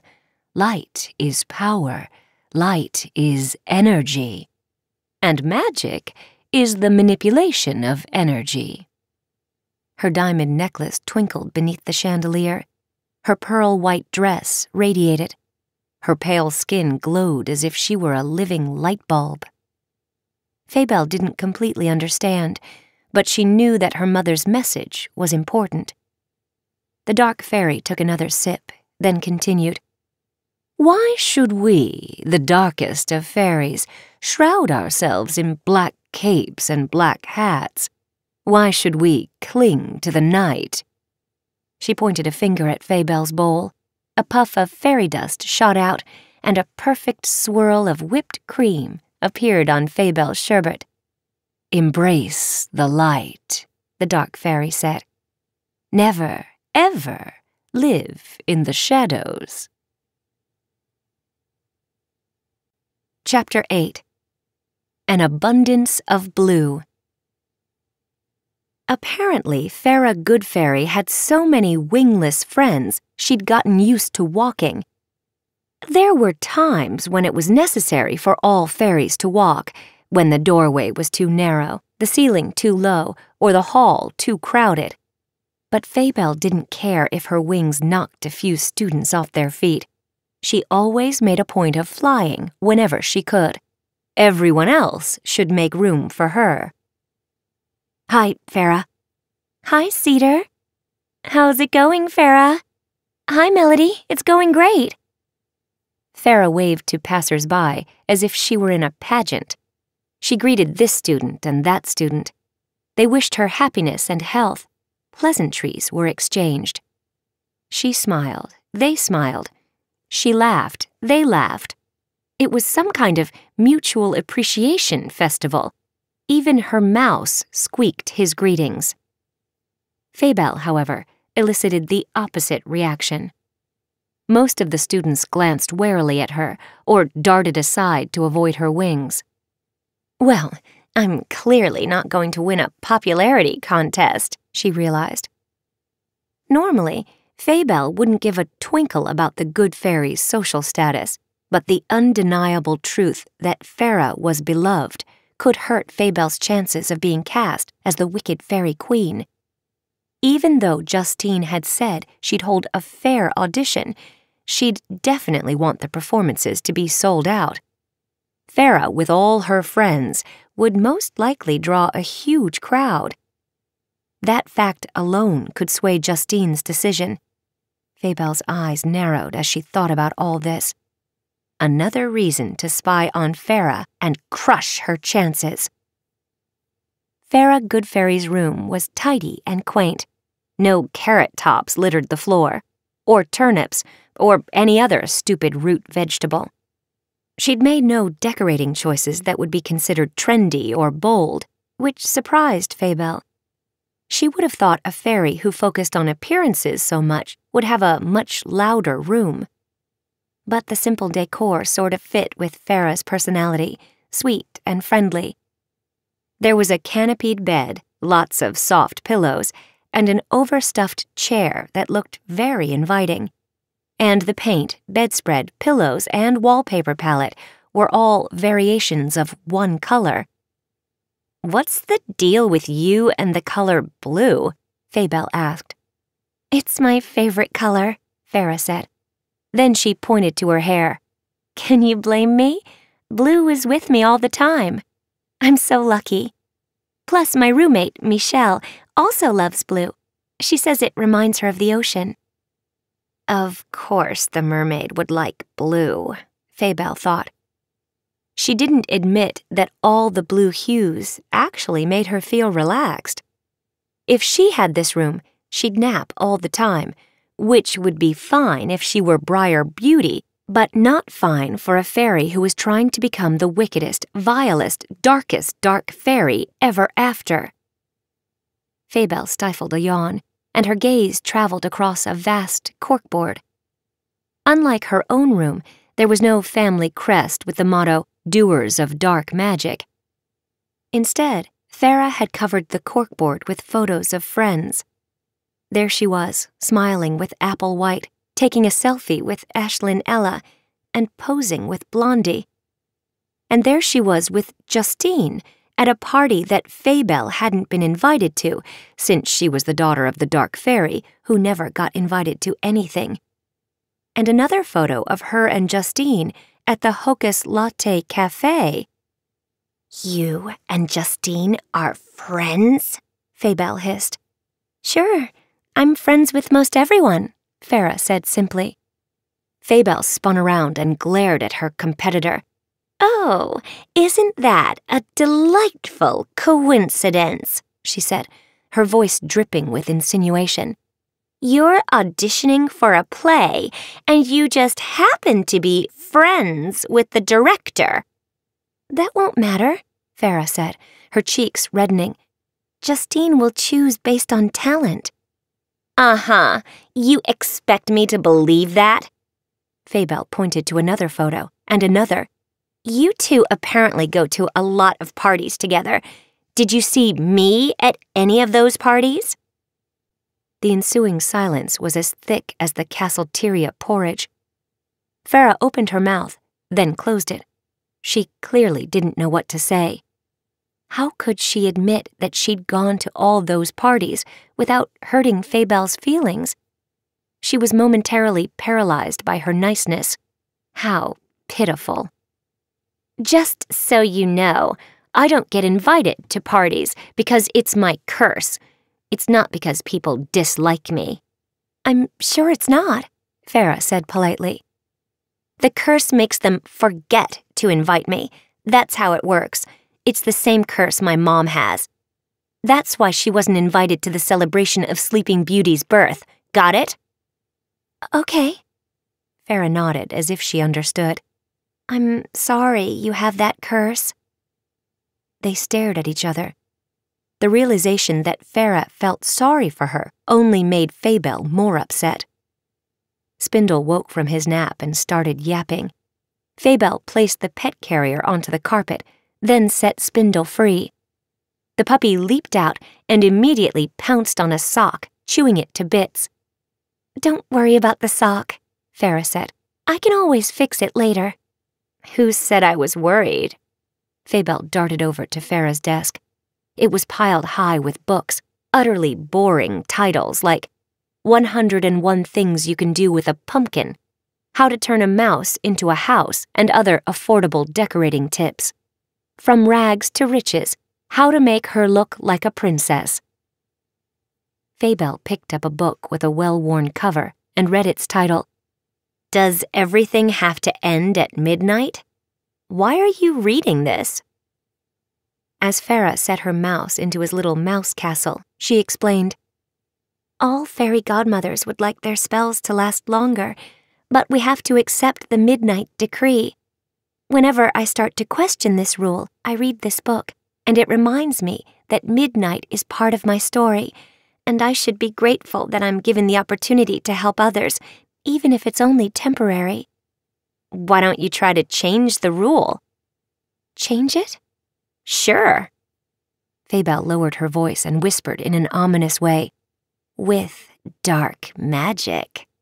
Oh no, I'd never do that. Farah's gaze darted around. She looked like she wanted to run from the room, to run from the words themselves. Dark magic. Good fairy shouldn't even think about dark magic. You know that. A knock on the door broke the tension. Farah? Apple White entered the room. Oh, hello, Faybelle. How very, very odd to see you here. She walked up to Farah and stuck out her right leg. I'm going to dinner tonight with Daring, Darling, and Dexter, and my tights have a run. I called my dwarf network, but they can't get me a new pair until tomorrow. I'd be royally grateful if you'd. Of course. Farah flicked her wand. A few musical notes and some fairy dust drifted through the air, and voila! The tights were good as new. Thank you! Apple squealed with delight. I wish my story had a fairy godmother. You're the best. I owe you one. She hugged Farah. Faybelle rolled her eyes. Why so much happiness? It was just a pair of tights. It's not as if Farah had made lasting impact on the world. Faybelle told herself that the only reason Apple was fond of Farah was because of the good fairy's ability to mend tights and do other menial things like that. But deep down, Faybelle knew better. Apple, like most of the students at Ever After High, truly liked Farah because Farah was nice. She cared. She helped. And if Faybelle hadn't been so overscheduled and on a villain trajectory, she might have taken some time to hang out with Farah. Oh my godmother, am I starting to like her too? Faybelle pushed that crazy thought from her head. Don't you get tired of helping everyone? she asked after Apple had left the room. Well, sometimes it's a bit tiring, I admit that. Farah sat on her bed and slipped off her blue shoes. But it's my duty and my destiny to help others. You know, I think that's why I'd like to be in this play. I'm always behind the scenes. I'm always the supporting role. It would be fun to be the star of the show, just one time. To be important. Behind the scenes? Faybelle tried to remember the details of Farah's story. You turn mice into horses, a rat into a coachman, and a pumpkin into a coach. That's very important. She couldn't hide her sarcasm, and she didn't try. Farah frowned. I know you don't think my magic is significant, not compared with the kind of power you'll have, but sometimes being able to change the way something looks does more than simply change the surface. It's not just about making Apple look good. If she feels good and she has confidence, then she feels empowered. That kind of attitude can change someone's destiny. Faybelle leaned against the desk and folded her arms. Changing someone's destiny is the talk of a rebel. I'm not. Farah straightened her back and held her head high. It's my duty to serve others. That's what I do, and I'm proud to serve. And it's my duty to serve no one. But enough with the boring chit chat. So, what about your monologue? Oh, right, the monologue. Farah smiled. She hurried to her desk and grabbed a book. I almost forgot. Have you read Shannon Pale's version of The Sleeping Beauty story? Faybelle shook her head. Well, it's very good, especially the scene where the dark fairy bursts into the castle and confronts the king and queen. I chose that speech. Faybelle clenched her jaw. Farah Goodfairy was about to perform the part of the story that belonged to Faybelle's mother. Sure, it was a fictional version, written by a best-selling author, but it annoyed her to the core. Go ahead, Faybelle said, as she slowly sat on the edge of the desk. Amaze me. It would, of course, be a disastrous performance. Farah had no instinct for villainy. Farah cleared her throat. With the book in one hand, she unfurled her wings and lifted herself above the bed. Your Majesties, she said, not in a sweet voice, but in one that demanded attention. Forgive my intrusion, but I couldn't help noticing that you are in the middle of a party. Did you forget to mail my invitation? Perhaps it was lost. Her brow furrowed, and her voice rose to a nearly thunderous level. Surely you wouldn't purposefully leave me off the guest list. You wouldn't dare. Spindle stopped chewing on the sock and dove under a pillow. Faybelle could barely hide her surprise. The little good fairy was delivering the monologue like a pro. How had she conjured that powerful voice, the authoritative stance, the determination? One might think she'd been studying for years at a professional acting academy. If she was this good at the audition, there'd be a standing ovation for sure. Any notion of liking or spending time with this good fairy disintegrated. This was a competition, and there could only be one winner. Somehow, some way, Faybelle had to stop Farah from auditioning. Gotta go, Faybelle announced, interrupting the stellar performance. But it's getting late, and I have way too much to do. She tossed the pillow aside, scooped Spindle into her arms, then set him back inside the carrier. Farah gently landed on the carpet. But what about your monologue? You haven't found one yet. I already found it. I'm going to do the same monologue as you. Faybelle grabbed the book from Farah's hand and took a photo of the page with her mirror phone. But instead of acting concerned or accusing Faybelle of copying, Farah just smiled. Oh, that's a excellent idea, she said. I think it will be fun if we both do the same monologue. Of course she thought it would be fun, Faybelle thought. She didn't have a competitive bone in her body, which is why she is doomed to lose. See you at the audition, Farah called as Faybelle hurried down the hall. I hope I helped you. Oh, you've no idea how much you helped, Faybelle thought.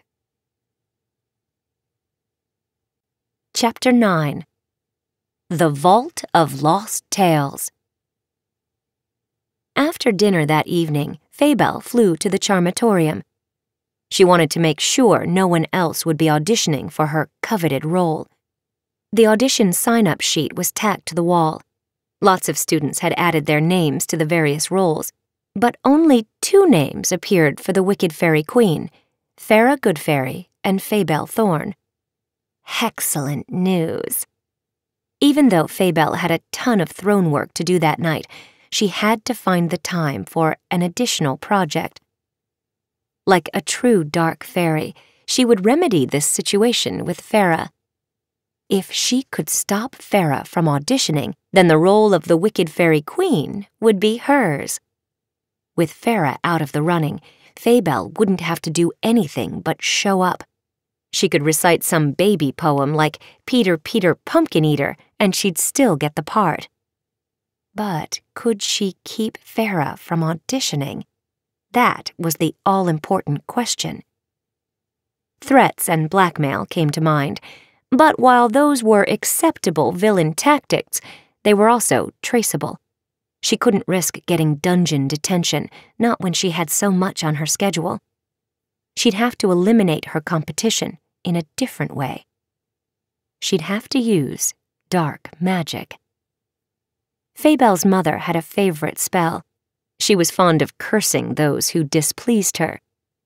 After sleeping for months, even years, on the front lawn, her victims would wake up, bleary eyed and confused. This spell did wonders for instigating loyalty in her subjects. But it was well known, and if Faybelle employed it, there would be finger pointing for sure. She'd have to find something subtle, something that wouldn't announce dark magic at work. While most of the student body lingered in the cafeteria, eating dessert and chatting about everything that had happened during the school day, Faybelle flew across campus to the one place that might provide her with an answer. The Vault of Lost Tales was aptly named because it contained books that had long been forgotten. What better place to find a spell that no one would recognize? There was a time when the vault had been locked up tight, off limits to most. But it was now open to students, though few chose to visit, not only because it was an eerie place, but also because the books within it weren't on any of the class lists. They'd been forgotten, after all. The vault was located far beneath the school through a labyrinth of dank hallways and tunnels. There was no room to fly down there, so Faybelle hurried along the stone floor. For some, the vault was a treasure trove, a place to discover books that had been buried, thrown away, or simply abandoned. For most, it was a dusty, moldy, and cold room with creepy decor, such as rat nests and bats. To make the place more unappealing was the rule that books discovered in the vault could not be checked out, for that would mean they'd been found and were no longer lost. So research had to be done within the vault itself. As Faybelle entered, she inhaled a cobweb. Gross, she muttered. Somebody get some cleaning fairies down here. Once she stopped coughing, she looked around. Every shelf and most every inch of the stone floor was stacked with books. She'd been using her flashlight app on her mirror phone to light the way. Because there was no electricity beneath the school, a bin filled with candles and matches sat at the entrance. Open flame did not seem wise when there was so much paper about, but candlelight was tradition. Besides, it lent a mysterious glow to the place. Hello? Faybelle called. The empty librarian's desk had a brass nameplate. Giles Grimm, librarian. He was probably at dinner, which is exactly what she'd hoped. She didn't want anyone asking her reason for visiting. The thing about lost books is that to remain lost, they cannot be cataloged. So there were no index cards to peruse, no database to search. It was a matter of walking the narrow aisles, looking and hoping for something to catch the eye. With a lit candle in one hand, she wound her way around towering stacks and started with a shelf at shoulder level. She eagerly ran her finger across book spines, reading the titles one by one. Mrs. Giant's Diary, Healthy Meals for Trolls, Fun Facts about Fangs. How utterly disappointing. Nothing sounded even remotely like dark magic. Of course, she could call her mother and ask for help. But Faybelle wasn't a child any longer. She needed to solve her own problems. There was no pride in having one's mother come to the rescue. She was determined to fight her own battles. How proud the Dark Fairy would be when Faybelle succeeded. The unmistakable sound of a page being turned caught Faybelle's ear. Hello? she called again. She hurried to the end of the table, then groaned with disgust. What are you doing here? Raven Queen was sitting in the corner, wedged between two stacks of books. A long purple cloak was wrapped around her like a blanket. While the eerie vault did seem like the perfect place for a couple of future villains to hang out, Raven had proved that she wasn't villain material. So why was she here? Why wasn't she eating throne cakes in the castleteria with everyone else? Oh, hi, Faybelle. She glanced up from a book she'd been reading. Aren't you cold? No. But in truth, Faybelle was nearly shivering. Though her cheerhexing uniform did a good job wicking away sweat, it couldn't protect her from the chilly air that inhabited the vault. Awkward silence ensued. They'd each journeyed to the bowels of Ever After High for a reason. Who would spill that reason first? It took about a minute for Faybelle to win the staring match. Uh, I found this interesting book, Raven said. It's called My Life as a Toad. The author was a great great great uncle of Hopper Croakington II's. After his spell wore off, he wrote about his adventures. Faybelle was dumbfounded. You're down here reading about a toad? Well, actually, I came down here to see if I could find something about misfiring spells, but I got distracted. She closed the book and got to her feet. I'm sure you've noticed that I sometimes have trouble with my good spells. I'm getting better, but I still need practice. You don't have to come down here to find the answer. Everybody knows what's wrong. What do you mean? Newsflash, you're not supposed to cast good spells. It goes against your destiny. It goes against your story. You don't need a book to tell you that. Faybelle pointed a finger. Look in the mirror, Raven. You're the evil queen's daughter, and that's who you were meant to be. Not a good queen, an evil one. The evil one. Raven pulled her cloak tighter. I'm meant to be whomever I choose to be. Oh my godmother, more rebel talk. Faybelle wanted to plug her ears. It pained her to hear such things. How can you be so. so. So what? So ungrateful, Faybelle shouted angrily. She spun on her sneakers and stomped away, turning down the next aisle. There was nothing more to say to Raven. They stood on opposite sides of a huge divide, but Faybelle knew that her side was the correct one. Forget about her, Faybelle told herself. I came here to find something important, not to waste time thinking about Raven Queen. She began to peruse the next shelf. More ridiculous titles. Riddles about rodents. How to make a court jester hat. Trolls have feelings too. Whatever after. Yeesh. No wonder these books were lost and forgotten. Where was something about dark magic? You don't have to hate me. Huh? Faybelle nearly jumped out of her tights. Raven had moved as silently as a shadow and was standing right next to her. You don't have to hate me just because I'm trying to choose a different path, Raven said. A whole mess of emotions flooded Faybelle's head, and for a moment she felt faint. Were they really going to have this conversation? Faybelle had already made her opinion perfectly clear. What don't you get? she asked. Your mother and my mother are two of the most important, most powerful women in fairy tale history. You should be proud. You should want your destiny. Faybelle pushed a strand of white blonde hair from her eyes. But you choose to be a rebel. How she hated even saying that word. Raven remained calm. Her violet eyes didn't flash, her jaw didn't clench, nor did she avert her gaze, but rather she looked directly and confidently at Faybelle. I'm not ashamed of my destiny. I love my mother, as you love yours. But before you label me, ask yourself this aren't we all rebels in some way?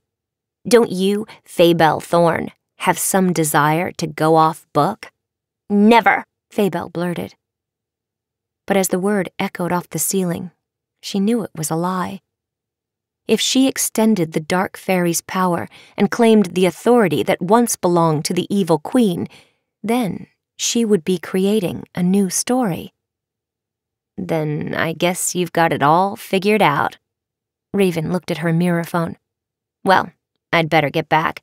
I still have throne work. I hope you find whatever you're looking for. With a swish of her cloak, she turned and left the vault. Good riddance. Faybelle pushed the conversation from her mind. She had a matter to contend with that was much more important than Raven Queen's insinuations. After a solid hour of fighting cobwebs, stirring up dust clouds, and shivering, Faybelle finally found something. Her heart skipped a beat as she pulled the book from its home on the shelf. It was a small book, the size of a wallet. The pages were crumbling, and the binding had deteriorated so that the whole thing was being held together by a few stitches. Forgotten fairy spells. She gasped. This was unbelievable. Exactly what she wanted. She sat on the nearest stack of books and carefully opened the cover. What an amazing find! The pages were handwritten in miniature letters. One of the diminutive fairies must have been the author. She held the candle close to the page, squinting to read. According to the introduction, these spells could only be cast by fairies and would only work on fairies. Perfect. But then, as she turned the pages, her hopes withered. Most of the spells were illegible, stained with mold, or missing passages because of rot. But one spell in the back of the book had survived intact. Wilted Wing Spell. Wings of beauty, soft and bright, droop and wilt, and bring no flight. Faybelle's wings twitched. Her fingers twitched too. The instructions said that the victim of the spell wouldn't be able to fly until a full passing of the moon. One month. This was even better than she'd hoped. If Farrah's wings wilted, she wouldn't be able to fly. And Justine needed an actor who could fly. And because this was a forgotten fairy spell, the school administration wouldn't recognize it. They'd think Farrah had some sort of illness that had caused her wings to wilt. It was brilliant and perfectly wicked. Faybelle read and reread the spell until it was seared into memory. She tucked the book into a dark corner behind a stack so it would remain forgotten.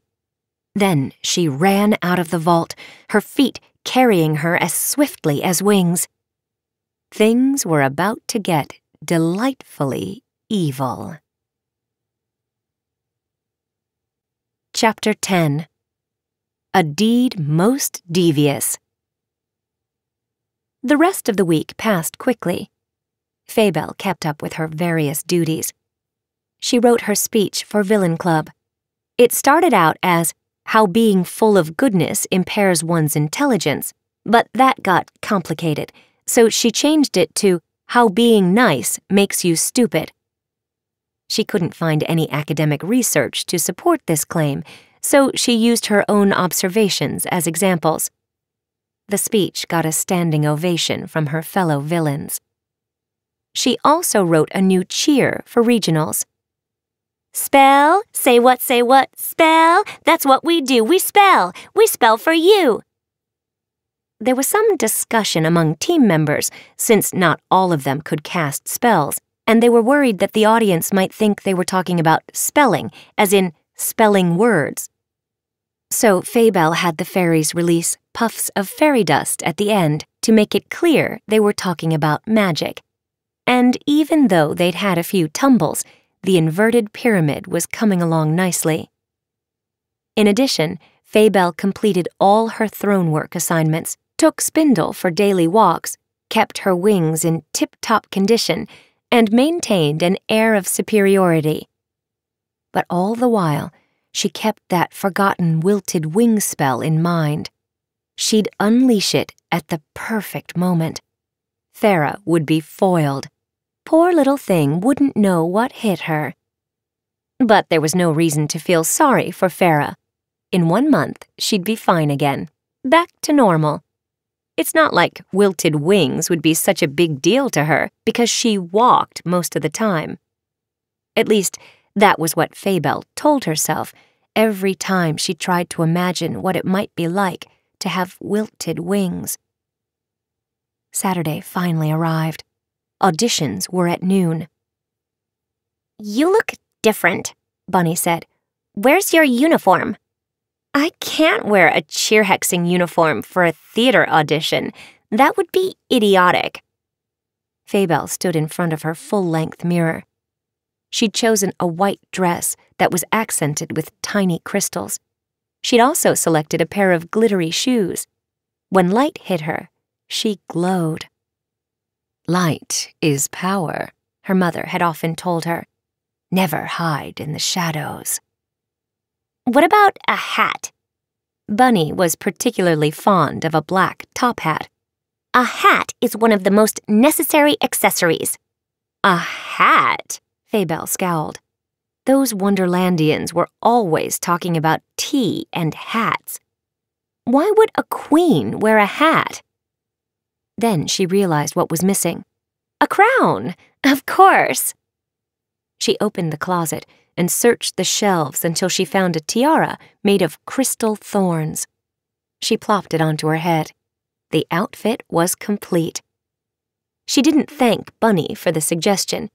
After all, a crown was not a hat. Will you watch Spindle while I'm gone? Sure, Bunny said. I'll take him for a walk. Faybelle handed the leash and a bag of treats to Bunny. Then she kissed Spindle's fluffy head. He wagged his tail and kissed her back. Break a leg, Bunny called as Faybelle flew from the room. Nervous energy coursed through her, which was odd. Faybelle was used to performing in front of crowds. She'd given plenty of speeches, and she'd led her cheerhexers countless times. But she was so jittery it felt as if actual pixies were trapped inside her stomach. Was that even possible? Had someone cast a spell on her? Of course not. She was being paranoid. It was normal to feel a bit nervous before using dark magic. At least, that was what she told herself. Her plan was this. Just before Farrah delivered her monologue, Faybelle would cast the spell. Unable to fly, Farrah would give up and Faybelle would swoop in and show Justine how a real wicked fairy queen commanded the stage. Then she'd call her mother and share the good news. The dark fairy would be so proud. Students were milling outside the charmatorium. Some were practicing monologues, others were chatting. As soon as Faybelle landed on the steps, Blondie Locks stuck a mirror pad in her face the red recording light was flashing. Hi, Faybelle, she said. I was hoping to get an interview before the audition. Did you know that most of my viewers are predicting a landslide win for Farrah? Faybelle glowered at the perky reporter. This isn't an election. Who cares what your viewers think? She flicked her wings, sending a gust of air right into Blondie's face. Blondie coughed. But do you agree with them? Do you think Farrah stands a better chance? No comment.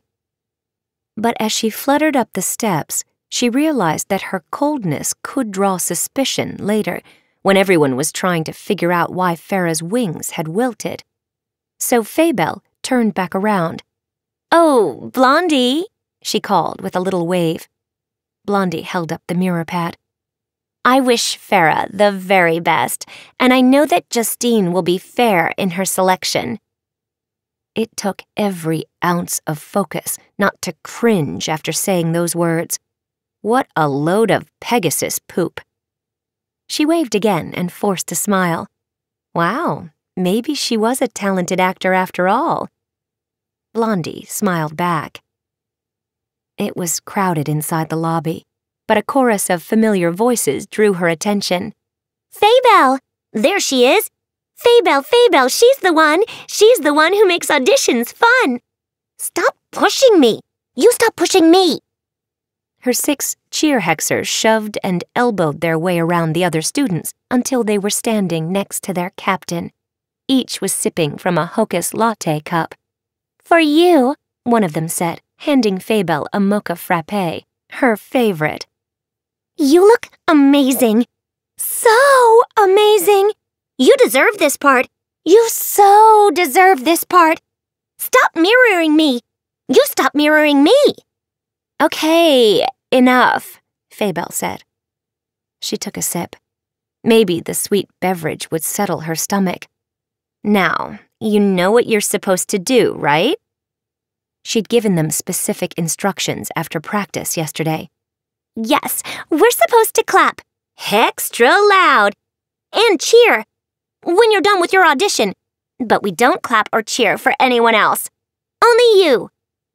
Faybelle nodded. Having her own fan club was extremely convenient. She checked her mirror phone. It was almost noon. Let's go, team. Like a flock of birds, they flew across the lobby. Students jumped out of the way. Whoa, Humphrey Dumpty called as he wobbled, nearly falling over. The Charmatorium was one of the most impressive rooms at Ever After High. Hundreds of seats faced a gilded stage. The stage was graced by blue velvet curtains. There were plush box seats and dozens of golden chandeliers. Faybelle and her cheerhexers chose seats in the front row, center. Faybelle glanced around until she spotted Farrah sitting next to Briar and Ashlynn, a few rows behind them. Farrah hadn't dressed like a wicked queen. She looked as she always did, with her blue dress and blue hair. She waved. Faybelle forced herself to wave back. If the audition was based on appearance alone, Faybelle would definitely get the part. But, alas, that was not how it worked. There were other familiar faces as well, such as Dexter and Daring Charming. Farrah's roommate, Meeshell, was there too, along with a bunch of students from the Glee Club. Humphrey hurried in, followed by some student dancers. Justine took the stage. Welcome, everyone, she said, clipboard in hand. Her denim jacket had Director embroidered on the back.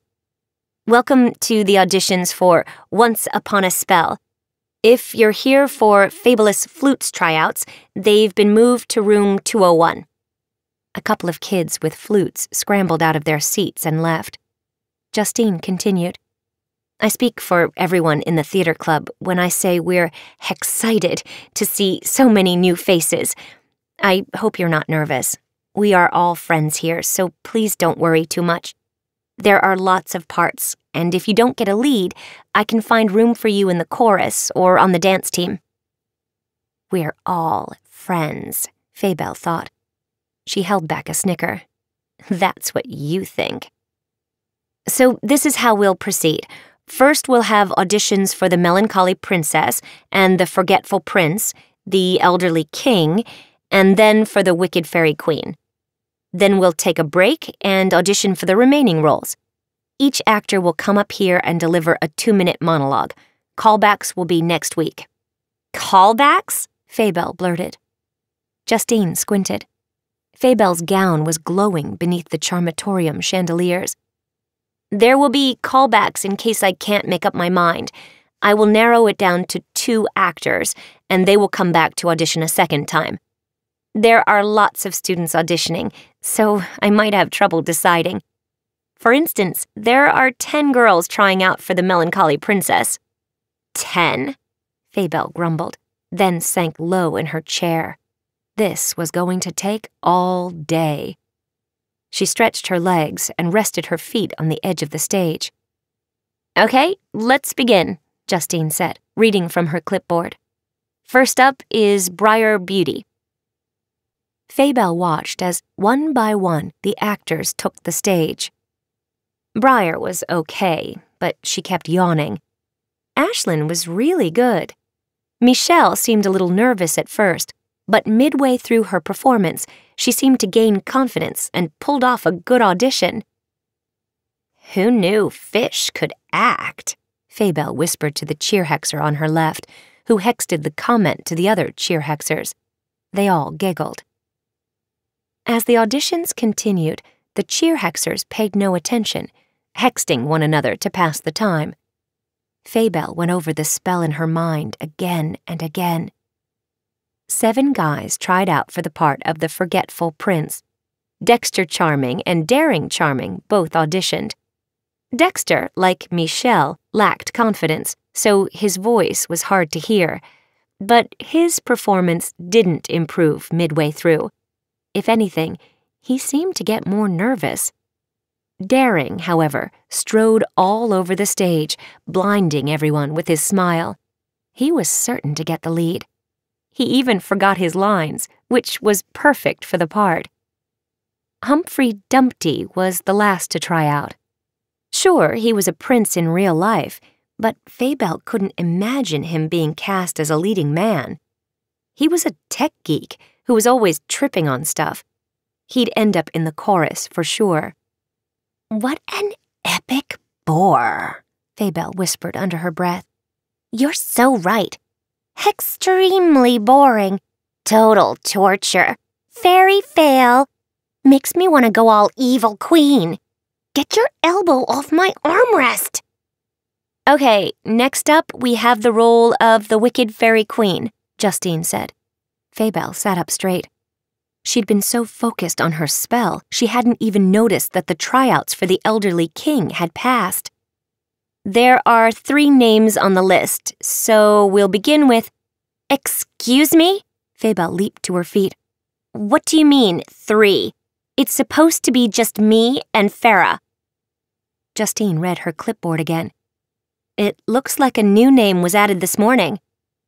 What the hex? Someone had dared add her name to the audition sheet? Who would do such a thing? Faybelle looked around the room, at each gilded chair, even up in the balcony. Her gaze landed on two fairies who were sitting in the back row. She didn't know them. They were first years. Which one was auditioning? Drat! The spell was designed to wilt the wings of only one fairy. Now she'd have to eliminate two fairies. Her thoughts spun as she tried to figure out what to do. And then the perfect solution popped into her head. She'd have to cheer hex the spell to increase its potency. Give me those, she said, grabbing a pair of pom poms. I gotta do something. We'll come with you, the cheer hexers said in unison. No, stay here, she hissed as she lifted into the air. Justine shielded her eyes with her hand. Faybelle, where are you going? You're up first. Uh, I need to make an important call. Let Farrah go first. I'll be right back. And out the door she flew. After landing in the lobby, Faybelle closed the charmatorium doors behind her. Fortunately, the lobby was empty. Something else must have caught Blondie's attention because she wasn't hanging around waiting for a scoop. There was no time to waste. Farrah would soon be on the stage, delivering her perfect monologue, proving to everyone that she could act. Pom poms in hand, Faybelle cheered the spell. Wings of beauty, rustle, rustle, soft and bright, rustle, rustle, droop and wilt, stomp, stomp, and bring no flight, stomp, stomp. She aimed the fairy dust at the charmatorium. The dust swirled, then disappeared through the crack beneath the door. She lowered her pom poms and took a long breath. The devious deed was done. There was no going back. If regret, worry, or guilt tickled her conscience, it was too late. She'd cast dark magic at a fellow student. It shouldn't take too long. A fairy would notice immediately if her wings. a heart wrenching cry arose from inside the Charmatorium. Chapter 11 Wilted Wings Faybelle tossed the pom poms aside. She didn't want anything to arouse suspicion. When she stepped back into the Charmatorium, she would prove to everyone that she was, without a doubt, a natural born performer. She would astonish them all with her ability to act as if she knew absolutely nothing about Farrah's wilted wings. She opened the doors. What in ever after is going on? she asked as innocently as possible. Did something happen while I was on my mirror phone? She batted her lashes and put her hand to her heart as if concerned. Oh, she was good. Farrah stood alone on stage, all color drained from her face. My, my, my wings, she stammered. She spun around. They won't unfurl. She spun again, her long blue hair twirling with her. What's wrong with them? This has never happened. A strangled whimper escaped her lips. I don't understand. I. I. She turned and looked imploringly at Faybelle. What's wrong with me? Faybelle shrugged. How should I know? I wasn't anywhere near you when this happened. She said this loudly so everyone in the charmatorium could hear. You're not accusing me of anything, are you? She clenched her jaw, ready to defend herself if necessary. If magic was suspected, she'd point to the other fairies in the room. They were as capable of casting a spell as she was. No, of course not. Farrah's eyes seemed as wide as tea saucers. But my wings aren't working. Do you know what it could be? Has this ever happened to you? Poor, misguided creature. She wasn't accusing Faybelle. She was looking to her for advice. Faybelle flew onto the stage and stood next to the little good fairy. It was the perfect opportunity to showcase her superior physical attributes. She took her time strutting around Farrah, pretending to inspect Farrah's wings. But in truth, she was giving Justine time to observe the difference between the two fairies. I'm taller, stronger, and much more regal, Faybelle thought. The choice is obvious. I'm your wicked fairy queen. My, my, this is a mystery, Faybelle said, feigning confusion as she touched one of the limp wings. The sight of the stricken appendages was indeed shocking. For a moment, Faybelle's chest felt a little heavy. She wondered if she'd done the right thing. But then she pushed that thought from her mind. She made some tisk-tisk sounds. I have no idea why your wings are just hanging there. It's so unattractive. My wings always work. To prove her point, she lifted off the stage and soared over the audience, skimming their heads.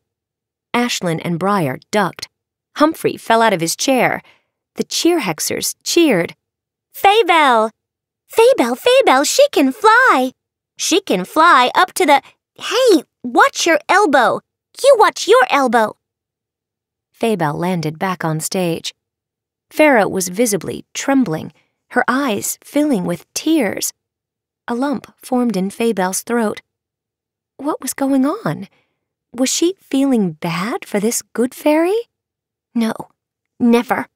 A dark fairy does not feel bad about casting dark magic. Justine hurried onto the stage.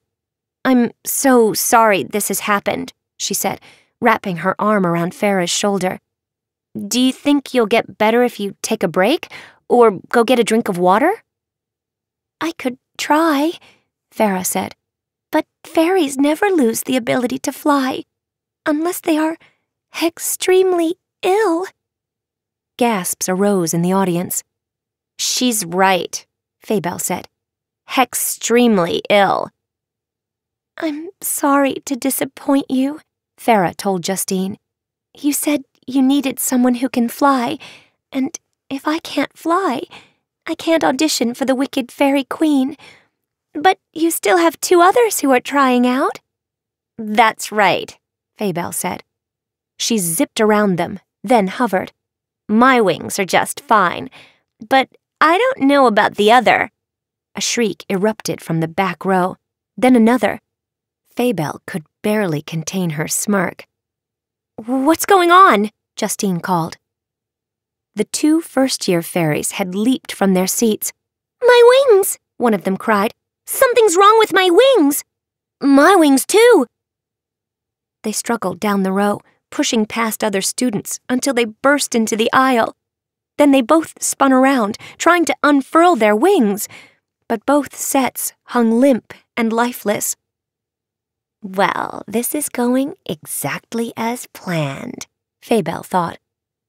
She rubbed her hands together in a most satisfied way. Then she opened her mouth, about to tell Justine she was ready for her monologue, when her six cheer hexers also jumped from their seats. They didn't cheer. They shrieked and wailed as they also discovered useless wings. Faybelle! they cried. Faybelle, what's happening? Holy hex! She'd been in such a hurry to foil Farrah and the other auditioning fairy, she'd forgotten that the spell would attack every fairy in the room. Panic welled in her chest. Her heart began to pound. Her wings beat in double time as she continued to hover. How could she have made such a rookie mistake? This would be a huge problem for the cheer hexing squad. Regionals were three weeks away, but the wilted wing spell was supposed to last for an entire moon cycle. How could they fly in formation? She'd sabotaged her own team. The weight of what she'd done pressed down on her shoulders, pushing her until she was standing on the stage. Oh, you poor dears, Farrah said. She hurried off the stage and ran up the aisle. Oh dear, oh dear, she said as she took a closer look at everyone's wings. We've all been struck by some mysterious illness. This is terrible. Fix them, one of the cheer hexers demanded. That's what you do, right? You make things look better. Oh, what a good idea. I can try. As Farrah took her little wand from her pocket, Faybelle cringed. While she wanted her cheer hexers fixed, she didn't want Farrah or the other auditioning fairy to recover. Could fairy godmother magic actually fix a dark spell? Farrah pointed her wand at one of the cheerhexers. A trail of music and sparkle shot out the wand's end, and for a moment everyone held their breath, waiting to see what would happen. The wings remained limp. Farrah's face fell. I'm sorry. My fairy godmother magic doesn't seem to work in this situation. Faybelle exhaled with relief. The audition was still hers. But the cheer hexing problem remained. How could she solve that? I wonder if it's some kind of virus, said Dexter Charming. He stepped into the aisle and pushed his glasses up his nose. Viruses spread quickly. That would explain how so many of you got it at the same time. A virus? Justine asked. It makes sense, Farrah said. All this chit chat is a waste of time, Faybelle thought. Hey, Justine, do you expect me to stand here all day? Let's do this. Silence fell over the charmatorium. Everyone turned and stared at Faybelle. She realized her mistake. She'd let her guard down. She'd forgotten to act as if she cared. Did they suspect? Hey, how come your wings are working? One of the cheer hexers asked. Yeah, how come? Faybelle held back a gulp. She flicked her wings. There is a perfectly adequate explanation. She took a few steps forward. Dark fairies have superior immune systems. Centuries of dealing with dark magic have made us stronger than other fairies. That does make sense, Dexter said with a nod. This seemed to satisfy the cheer hexers. Besides, They'd never dare question their team captain and future queen. At least, not in public. or to her face. Farrah tucked away her wand. I think we should go to the infirmary. Maybe there's some medicine we can take. I shall escort you, fairy damsels, Daring cried. He leaped across the seats and bounded into the aisle. Then, with a bow, he said in his most dashing voice, Follow me. Farrah and the other fairies followed, along with Ashlynn, Briar, and Meeshell, who wanted to help in whatever way they could. Finally, good riddance. Faybelle cleared her throat. Are you ready? Justine took her seat. Yes, I guess we'd better get back to business. Go ahead. Faybelle delivered the monologue, the same one Farrah would have delivered if she hadn't been sabotaged. She took her time walking around the stage, allowing everyone to admire her costume. Then she stood in the center, hands on hips, and, for maximum visual impact, she unfurled her wings in slow motion. They stood magnificent, catching the spotlights, casting rainbows upon the walls. And then she flew around the stage, delivering her lines, condemning the king and queen for not sending an invitation. As the monologue concluded, she cursed the princess to prick her finger and sleep for a hundred years. There was nary a doubt in Faybelle's mind. The part was hers. Confidence coursed through her. She took a long bow. Since her cheerhexers had left, there was no fervent applause. A few members of the audience seemed to appreciate her performance, but most looked wary, unsure of how to react. Did they suspect her of foul play? Or did they think her performance was foul? Or was that fear she saw in their eyes? When does practice begin? she asked Justine. I'm busy most afternoons with the cheer hexing squad, but I can squeeze in time after dinner. Justine held up her clipboard and pointed to another name. You don't have the part yet. There's still one more person trying out. Faybelle snorted. She left, with the other fairies, remember? No, I didn't, a voice called. I'm still here. Because the spotlight was blinding her, Faybelle couldn't see who was speaking. She shielded her eyes with her hand and stepped to the edge of the stage. You have to be a fairy to try out for the Wicked Fairy Queen, she said, her eyes scanning the faces. She doesn't have to be a fairy, Justine corrected. She simply has to have wings and be able to fly. Not a fairy? What treachery was this? Who else had wings? Who else could fly? This was impossible. Then Faybelle's gaze stopped cold on a smiling face. C. A. Cupid. Chapter 12 Greek Tragedy Faybelle Thorn hadn't felt this angry since that time everyone in the dorm but her got an invitation to the spring fairest or that time Lizzie Hearts's hedgehog chewed up her throne work, or that time the dragon cleaner shrank her cheer hexing uniform, or that time. Okay, so perhaps she had a hot temper, but at that moment it had risen beyond the boiling point. She could barely contain herself. She wanted to go all evil on everyone. But instead, she took a seat in the very back row where no one could see her clenched jaw or blazing eyes. C. A. Cupid stood on the stage, delivering some boring monologue. Curses!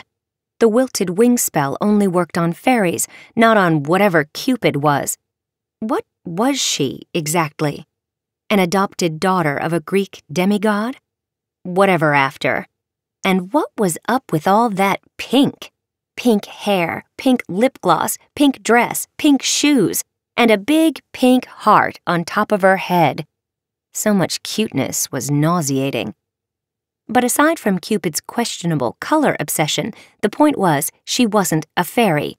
Why would Justine allow a non fairy to try out for such an important role? And to make the situation even more insulting, Cupid was the opposite of a villain. Her father was the god of love. Her destiny was to spread love to people. That was why she was always trying to matchmake everyone on campus. She had a mirror cast show the cheerhexers were always watching called Love Advice. Cupid's brilliant advice was that people should follow their hearts. Well, I've got news for you, Faybelle whispered. I am following my heart, and my heart wants this part. If Faybelle hadn't been seething with rage, she might have noticed that Cupid wasn't much of an actor. Her delivery was okay, just not great. But though her wings were smaller than Faybelle's and solid rather than translucent, she could fly. Justine seemed very pleased. Thanks so much, Justine said, taking the stage once again. She wrote something on her clipboard. Let's take a break, everyone. Then we'll audition the rest of the parts. Wait, Faybelle said, scooting to the edge of her seat. Who gets to play the Wicked Fairy Queen? I'll post the callback list tomorrow, Justine told her. But only two of us auditioned. Why do we have to audition again? That doesn't make sense. You should decide now, me or Cupid. Well, Justine hesitated. I'd like to wait and see what the doctor says. If Farrah is going to get better, then I'd like to give her the chance to try out. I think that's fair, don't you? Yes, Cupid said, smiling at Justine. I think that's super fair. Faybelle blinked. Fair? Her fingers twitched, eager to deliver a bolt of magic. Oh, yes, we must be fair.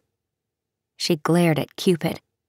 If looks could kill, there would have been an explosion of pink on the stage. That little demi-goddess had ruined everything. What a waste. All that time in the vault of lost tales, searching through those crumbling books, inhaling dust. She was still picking cobwebs off her uniform. All that trouble, and she had to compete against a non-fairy. It was too much to bear. She was so filled with emotion that she felt she might burst. She needed to release some magic, she realized. Releasing just a little bit of magic would make her feel better. She looked around the charmatorium to make sure no one was watching, and then she pointed her finger. She'd sear a hole in the seat in front of her. Just a little dust, just a little poof. No one would get hurt but someone did get hurt. What Faybelle didn't realize was that when she'd cheer hexed the wilted wing spell, she'd created magic so powerful that remnants had been left behind, a small dusting that still lingered on her finger. So when she released a jolt of fairy dust, it didn't sear a hole in the seat back. Instead, the magic ricocheted off the seat back and hit her in the chest. Wham! Huh? Her back suddenly felt heavy, as if she were strapped to a book filled backpack. What the hex? As it dawned on her what might have happened, she slowly got to her feet. No way, she said. I did not just. She unfurled her wings. But the wings that she loved the wings that she carefully tended and groomed, would not obey her command. Chapter 13 Flight Grounded Faybelle almost burst into tears. But she didn't. She maintained her cool demeanor. While Justine and the other students headed to the vending machines for their break, Faybelle walked down the row, up the aisle, and into the lobby. She'd pretend nothing had happened. No one would know that her wings didn't work. No one would see her in this weakened state. Never. If word of this got around, she'd be forever after humiliated. To allow a spell to backfire would elicit comparisons to Raven Queen. That was an insult she couldn't bear. And if Justine found out that Faybelle couldn't fly, she'd give the role of the wicked fairy queen to Cupid. A demigoddess playing a fairy queen? Not on Faybelle's watch. As she stepped out of the building, the afternoon air felt different. It was a pleasant temperature, as usual, and tinged with the scent of warm cobblestones and buttercups. But the air did not embrace her as it usually did. It did not call to her, welcome her, or lift her. Without the buoyancy of her wings, she might as well have been wearing boulders on her feet. She was grounded, like a tree, like a mountain. How could the wingless stand this lack of freedom? Ms. Thorn! The bellowing voice was unmistakable and could not be ignored. What now? Faybelle grumbled to herself. She wanted to find some place private, some place to gather her thoughts and process the situation but the school's headmaster was walking straight for her. Headmaster Grimm was very tall, which was why he often looked down his nose at his students. He had quite a lot of hair for a man of his advanced years, and his thick mustache was streaked with white. He bore a gentlemanly look, reminiscent of bygone days when men were dapper and ladies elegant. The heavy keyring hanging from his belt symbolized his authority for only he possessed the keys for many secret and forbidden rooms. Hello, headmaster, Faybelle said. She folded her arms behind her back, hoping to hide the droopy wings. You called? She kept her voice calm, her gaze confident. But her mind reeled. Had she been found out? What would the punishment be? Dungeon detention, surely. Every good villain expected to be sent to dungeon detention on a regular basis, but if the headmaster tried to impose another kind of punishment, should she defend her actions? Her excuse was straightforward. A villain was supposed to act like a villain. A villain was supposed to pursue her destiny. And the headmaster was a firm believer in respecting one's destiny. He'd installed signs all over campus to remind students of this fact. We are the children of destiny. No, she couldn't confess. She'd have to play dumb. She could never admit that she'd become a victim of her own dark magic. The headmaster halted. Then he looked up and waved. Ms. Cupid, I require your presence as well. Faybelle cringed as Cupid landed next to her. Hello, Headmaster Grimm, she said. Do you need some love advice? While I am a fan of your Mirrorcast show, I am much too busy for matters of the heart. He smoothed his vest. Ms. Thorn and Ms. Cupid, I just got off the mirror phone with Madame Baba Yaga. She would like both of you to report to the infirmary. I can't go, Faybelle explained. I have a meeting of the Villain Club. While I appreciate your dedication to your extracurricular activities, Miss Thorn, this is not open for debate. He raised his bushy eyebrows. A mysterious wing ailment has spread among some students, and you must both be checked out. Do not delay. This appears to be very serious. Serious? Oh, that's terrible news, Cupid said. I'll go right now. I don't need to go, Faybelle insisted. And why is that, Miss Thorn? Do you believe you are impervious to disease? Have you ever seen a dark fairy get sick? she asked. Cupid shifted her little golden bow onto her other shoulder. I get sick sometimes. Last year during holiday, I caught Athenian acne. It lasted for a whole week. And one time I came down with the Herculean flu. All the ambrosia in the world couldn't make me feel better. Faybelle's wings might have twitched with annoyance, except they were currently as lifeless as woolen drapes. May I be excused from this super interesting conversation? I have so many things to do. Did she dare call her mother and ask for help? Surely the dark fairy would know how to undo magic. But Faybelle had wanted to pull off this scheme on her own, to make her mother proud with her success, not disappoint her with failure. You may not be excused, Headmaster Grimm said. This is a strange ailment that we have never before encountered. Therefore, it is of the utmost importance that all winged students undergo an examination. That is why I am instructing you to go to the infirmary.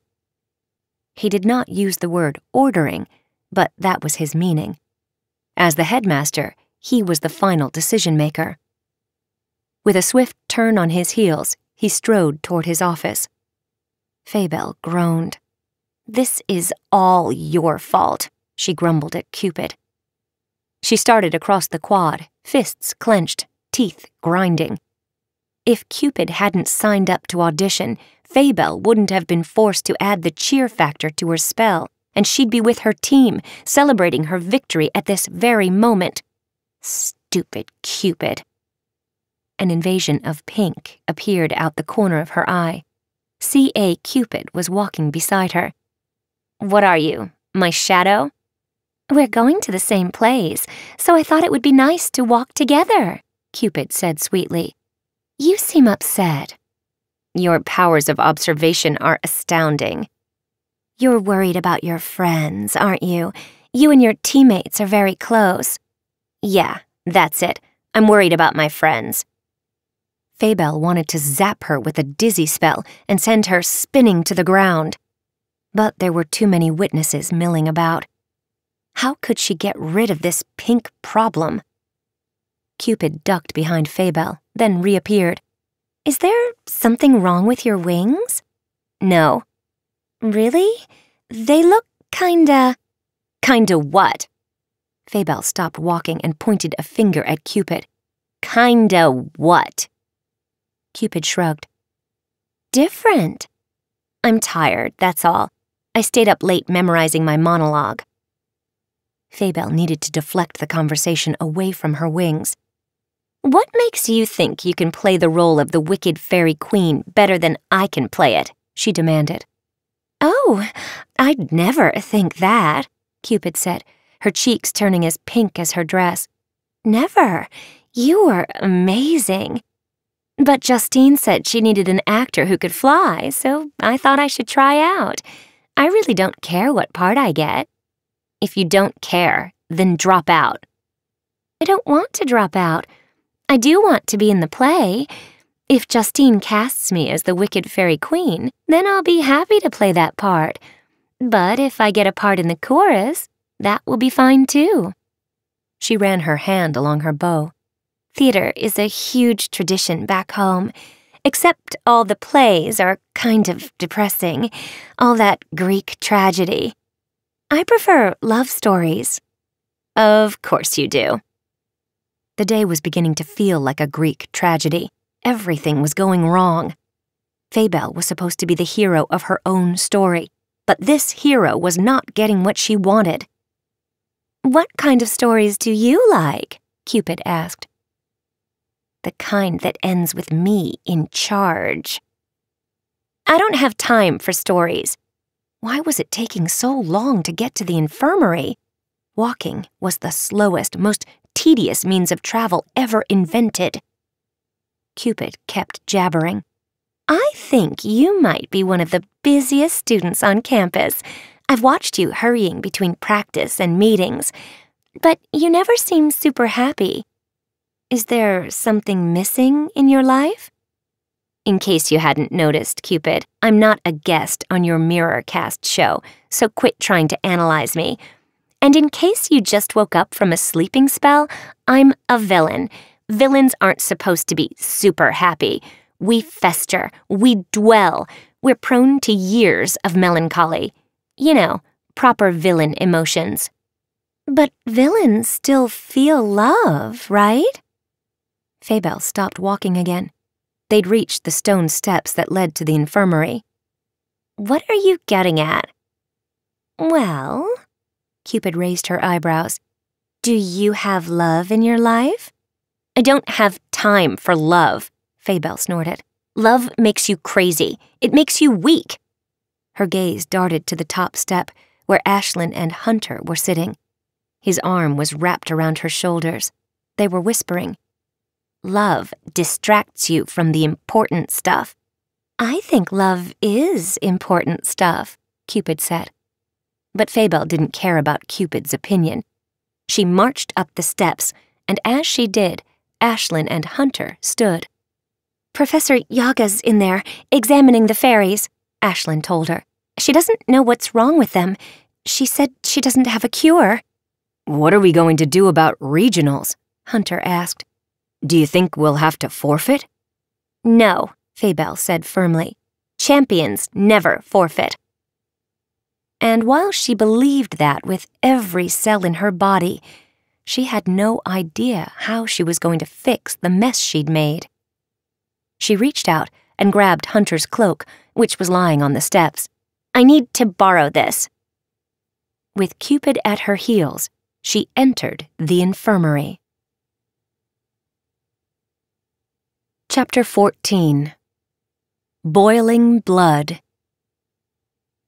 Even though it was plenty warm inside the stone building, Faybelle flung Hunter's cloak over her shoulders and attached it at her neck. It hung all the way to her shins, more than enough fabric to cover her wilted wings. The infirmary was an old-fashioned name for the student clinic Small nurse fairies tended the facility's patients, applying bandages, dispensing medicine, mending broken bones, that sort of stuff. Farrah, the two first year fairies, and the six cheerhexers were sitting on benches in the waiting room. The cheerhexers didn't cheer Faybelle's entrance as they usually did. They all sat listless, shoulders drooping, expressions heavy with worry. No twinkle in their eyes no sparkle in their presence. They were the saddest bunch of fairies Faybelle had ever seen. Hi, Faybelle. Hi, Cupid, Farrah said. What are you doing here? Headmaster Grimm sent us, Cupid explained. We're supposed to get our wings examined. The blue in Farrah's eyes had dulled. They looked gray. Oh, I hope you're not sick, she said. Of course I'm not sick, Faybelle insisted. We're waiting for our results, Farrah explained. She held a cotton ball to her index finger. They took a drop of blood for a blood test. Madame Baba Yaga stood at the end of the hall. Slightly hunched over, she beckoned with a gnarled finger. Miss Thorn, Miss Cupid, this way, please. The girls joined the professor in an examination room. A nurse fairy stuck a thermometer in Cupid's mouth, while another wrapped a blood pressure cuff around her arm. We must take your vital signs, Madame Baba Yaga explained. Take a seat, Miss Thorn, and wait your turn. This is a waste of everyone's time because I'm not sick, Faybelle insisted. As Madame Baba Yaga supervised, a nurse fairy pricked Cupid's finger and placed a drop of blood into a little vial. Madame Baba Yaga held the vial up to her nose. She sniffed it. She added a pinch of green powder, then murmured some magical words. The blood did not respond. Didn't you hear me? Faybelle said huffily. I'm not sick. That remains to be seen, Madame Baba Yaga inspected Cupid's wings with a magnifying glass. Are they working as usual? she asked. Oh, yes, Cupid said. I would have flown here, but Faybelle was walking, so I walked with her. My wings are perfect. To demonstrate, she lifted herself off the floor and fluttered around the room. Indeed. Madame Baba Yaga wrote some notes in a file. You may be excused, Miss Cupid. It would appear that you are not affected. Okay, thanks. Cupid hurried toward the door, but then turned. Good luck, Faybelle. Faybelle paced like a caged beast. She began to sweat beneath the cloak. You appear to be a bit agitated, Madame Baba Yaga observed. I'm not agitated, Faybelle bellowed. Madame Baba Yaga stared at the cloak. Then she waved her hand at the nurse fairies. Leave us, she told them. They flitted from the room. The door closed, and Faybelle and the professor were alone. A bead of sweat rolled down Faybelle's nose. Wouldn't you be more comfortable without that heavy cloak? The professor asked. No, it's the latest style. I love it. Really? Yes, really. In fact, I'm going to call the tailor at Fairy Fashion and Finery and order a dozen more. She wiped the sweat with the back of her hand. I'll go do that right now. She started toward the door, but Madame Baba Yaga blocked her path. Miss Thorn, I do not have to inspect your wings to know that they have been wilted. She pulled a twig from her matted hair, and using its blunt end, she scratched the back of her neck. My eyes may be old and bloodshot, but I can clearly see that you've lost your sparkle. Was this true? Faybelle looked in a mirror that hung above the examination room's sink. She did look different. Her skin was less luminous. Her eyes were dull. She looked, oh, horror of horrors. Could it be true? She looked ordinary. Madame Baba Yaga tossed the twig aside, then picked up another file. Faybelle's name was written on the file's cover. You have no record of illness, she said, aside from a few bumps and bruises from cheer hexing. Yet here you are, along with nine other fairies, stricken by a mysterious ailment. Is there something you'd like to tell me? Faybelle turned away from the mirror. Like what? She wasn't lying, just playing dumb. Madame Baba Yaga plucked the vial from the counter. Cupid's drop of blood wobbled from the movement. When coming into contact with the magic detection powder, Ms. Cupid's blood remained unaltered. However, she picked up a different vial. It also contained a drop of blood. She sprinkled green powder into the vial. The drop began to boil. A puff of black steam shot out the top. This blood shows clear signs that it has recently been exposed to dark magic. This blood belongs to Ms. Good Fairy. Really? Faybelle examined her nails. How dreadfully uninteresting. Another bead of sweat trailed down her neck. If the professor wanted a confession, she'd have to try much harder. Do you remember my advice on cheer hexing? I clearly told you not to use your magic touch unwisely. I advised you to hone your skills slowly. Broken teacups are one thing, but attacking your fellow fairies... I didn't attack them, Faybelle blurted. They stood in silence for a moment. The cloak was smothering. Faybelle needed fresh air. She backed up until her legs came into contact with the edge of a chair. Then she sat. She wanted to crumple into a ball. Her wings felt so heavy. Her heart felt heavy too. When Madame Baba Yaga spoke, her voice was gentle. The spell will wear off? Yes, Faybelle admitted. In a moon's span. Good. The professor washed the vials in the sink. I'm curious, Miss Thorn. What was your motive for attacking fellow students? To eliminate my competition. I see. She nodded, but she didn't look like she approved. You will refrain from magic until this situation is resolved. No magic? Faybelle gasped. Do not press your luck, Miss Thorn. Faybelle went silent. No magic. None at all. Do you understand? Faybelle groaned. Yes. The punishment could have been much worse. She could have been expelled, but still, no magic felt harsh. Madame Baba Yaga opened the examination room door.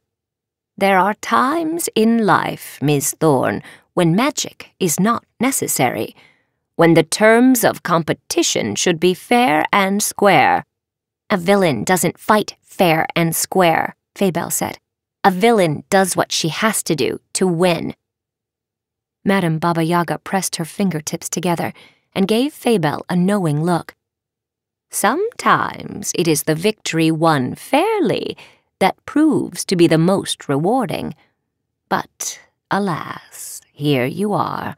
No role in the play, no regionals, no flight. Whatever after, Faybelle grumbled as she wrapped the cloak around her shoulders and trudged away. She'd deal with this in her own way. Her own wicked way. Chapter 15 Dark Fairy Discussion Madame Baba Yaga told the fairies that their wings would recover in a moon's span. Four weeks? The cheer hexers cried. What about regionals? We can't compete with regular cheers. How embarrassing! We're famous for our flying formations. What are we going to do? They looked beseechingly at their leader. Faybelle put her hands on her hips. Who am I? she asked them. Faybelle Thorn, daughter of the Dark Fairy. That's correct. So stop all your whining and have some confidence. I will figure this out, and we will claim that trophy. Because the wilted wing sickness wasn't contagious, the fairies were allowed to leave the infirmary and were told to go about life as usual. But that was impossible for there was nothing usual about being earthbound. The sky was calling, but the fairies could not answer. The situation was the hot topic on Blondie's Mirrorcast show that evening. It hadn't taken long for Blondie to get the scoop. Being in the know about everything, she reported that Faybelle had been infected. Had Cupid told her? Possibly, but Blondie never revealed her secret sources. Or was it simply that Faybelle couldn't hide the truth? It was obvious she had no flight, and covering her wings with Hunter's cloak only drew attention to the matter, like a bald guy trying to cover his scalp with an ill-fitting toupee. But even though everyone knew, Faybelle couldn't bear to have them stare at her wings, so she tossed Hunter's cloak aside and chose a shimmering cape she'd worn to a masquerade ball last year. At least it didn't make her sweat. What does this mean for your original play, Once Upon a Spell? Blondie asked Justine during her show. Well, callbacks are tomorrow afternoon, Justine said. If neither Faybelle nor Farrah gets better, it looks like the part of the Wicked Fairy Queen will be going to Cupid. I just hope Cupid doesn't get sick. I really need a flying actor. Blondie looked into the camera. Did you hear that, Cupid? Take your vitamins and get plenty of sleep. You can't get sick, or Justine's play will be an epic fairy fail. Faybelle turned off her mirror pad. Too bad there wasn't some sort of fairy tale flu spreading across campus. And too bad she'd been forbidden to use magic. She could steal Cupid's voice, but make it look like laryngitis. She could shoot pixie music into her ear and make it seem like an earache. But even if she could use magic, it would be foolish to attack Cupid. Madame Baba Yaga would figure it out. She'd punish Faybelle. Everyone would know. And Faybelle would never get the role. Oh, to be wingless and magicless was torture. How did ordinary students stand it? Somehow, some way, she would keep Cupid from going to callbacks. Better yet, she'd persuade Cupid to drop out of the play entirely. Then Justine would be forced to wait for the wilted wing spell to wear off. What other choice would she have? But that also brought risk, because the spell would wear off for all the fairies, meaning Farrah would be in the running again. Faybelle versus Farrah? She would be back where she'd started. What a mess. She leaned against her closet door. You okay? Bunny asked. She sat at her desk, working on throne work. Faybelle was as far from being okay as an ogre was from being charming. Her shoulders were aching, her neck sore. Her wings had always felt weightless, as if spun from air, but now it was like carrying a backpack filled with stones. I'm fine, she lied, though the bottoms of her feet throbbed something fierce. Show no weakness. You sure? Bunny pushed her top hat away from her eyes. Her long ears twitched. You don't look fine. I mean, you've got dark circles under your eyes, and you're not complaining about my carrot tops like you usually do. It was true. Faybelle's energy level was at a low simmer at best. Her mirror phone rang. Her mother's face appeared on the screen. Darling, I just heard. Madam Baba Yaga assures me that you will be fine. Your wings will recover completely. I'll send the driver immediately to pick you up. Faybelle stepped into the hallway so she could speak to her mother in private. Mom, I can't go home.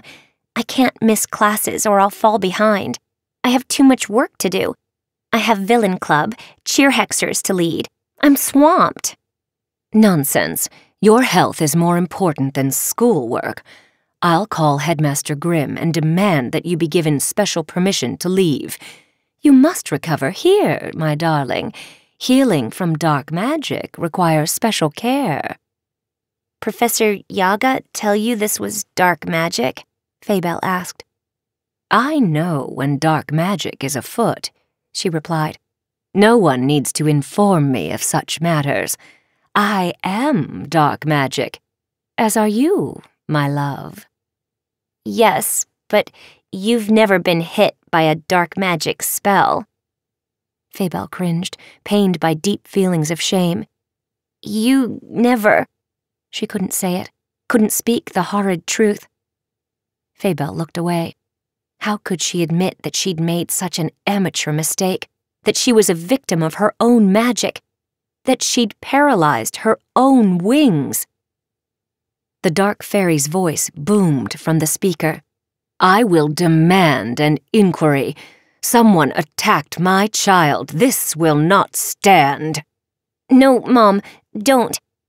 Faybelle looked around to make certain no one was eavesdropping. The only movement was Lizzie Hearts's plump hedgehog waddling between rooms, searching for treats. I don't want you to make a big deal about this. I don't want you to investigate. I'm old enough to fight my own battles.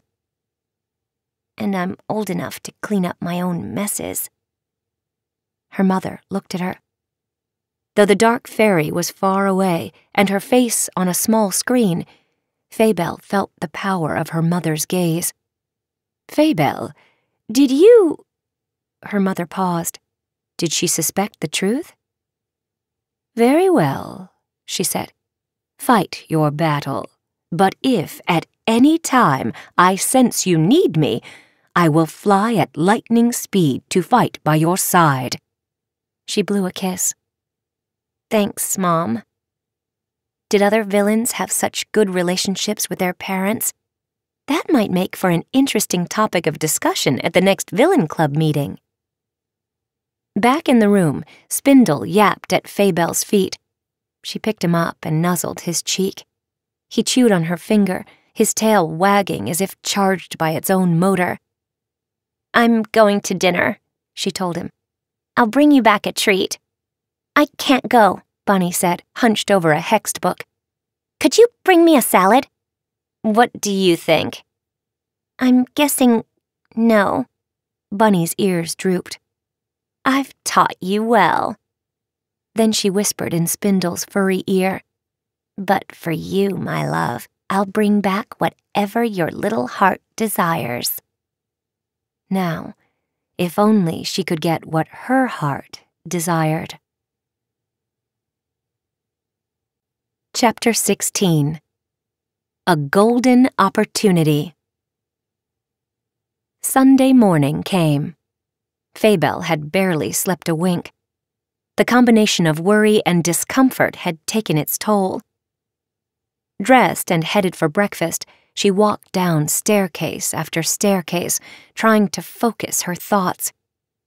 She still wanted to play the Wicked Fairy Queen She'd put so much time and effort into getting the role, and quitting was never an option. So, it seemed the next thing to do was to remove Cupid from the competition. But Faybelle would have to manage this without her cheer factor, without any sort of fairy magic. How could she do that? As she entered the castleteria, students turned to stare, but their eyes were not filled with fear or respect. It was a softer, concerned look.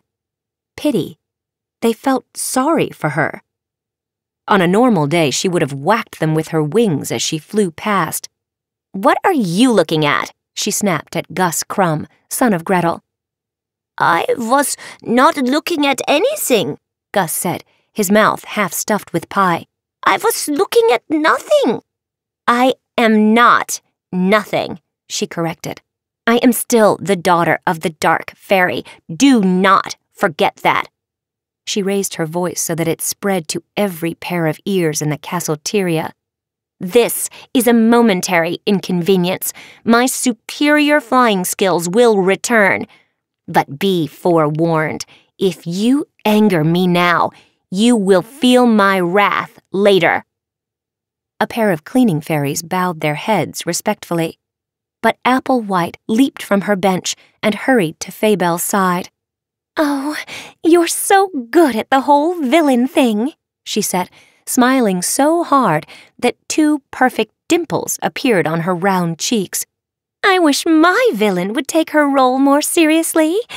Anywho, here's a little something for you. Charm you later. And off she went. She'd handed Faybelle a card. Faybelle opened it. A little birdie told me you were sick. Get well soon. Apple White. Hearts and smiley faces? It was cringeworthy, but also kind of nice. Faybelle joined her six cheerhexers at their usual table. Seeing their wings hanging lifeless against their backs was a shocking sight indeed, but they looked different in other ways. They were dressed in drab sweatpants and sweatshirts. No one had bothered to comb hair or gloss lips. And they weren't bickering as usual. They were sitting quietly, barely touching their food. When they saw her coming, they cheered in very quiet voices. Faybelle, Faybelle, she's the one. She's the one and something, something. Then sighed. They didn't even have the energy to finish the sentence or to rhyme. Why aren't you wearing your uniforms? Faybelle asked as she sat. What's the point? Why bother? I'm so depressed. Me too. Faybelle glanced around the table. Where's my food? she asked. Her team always got her food and drink, but there was no tray waiting for her. We forgot. Well, I'm here and I'm hungry, so go get me something, Faybelle said.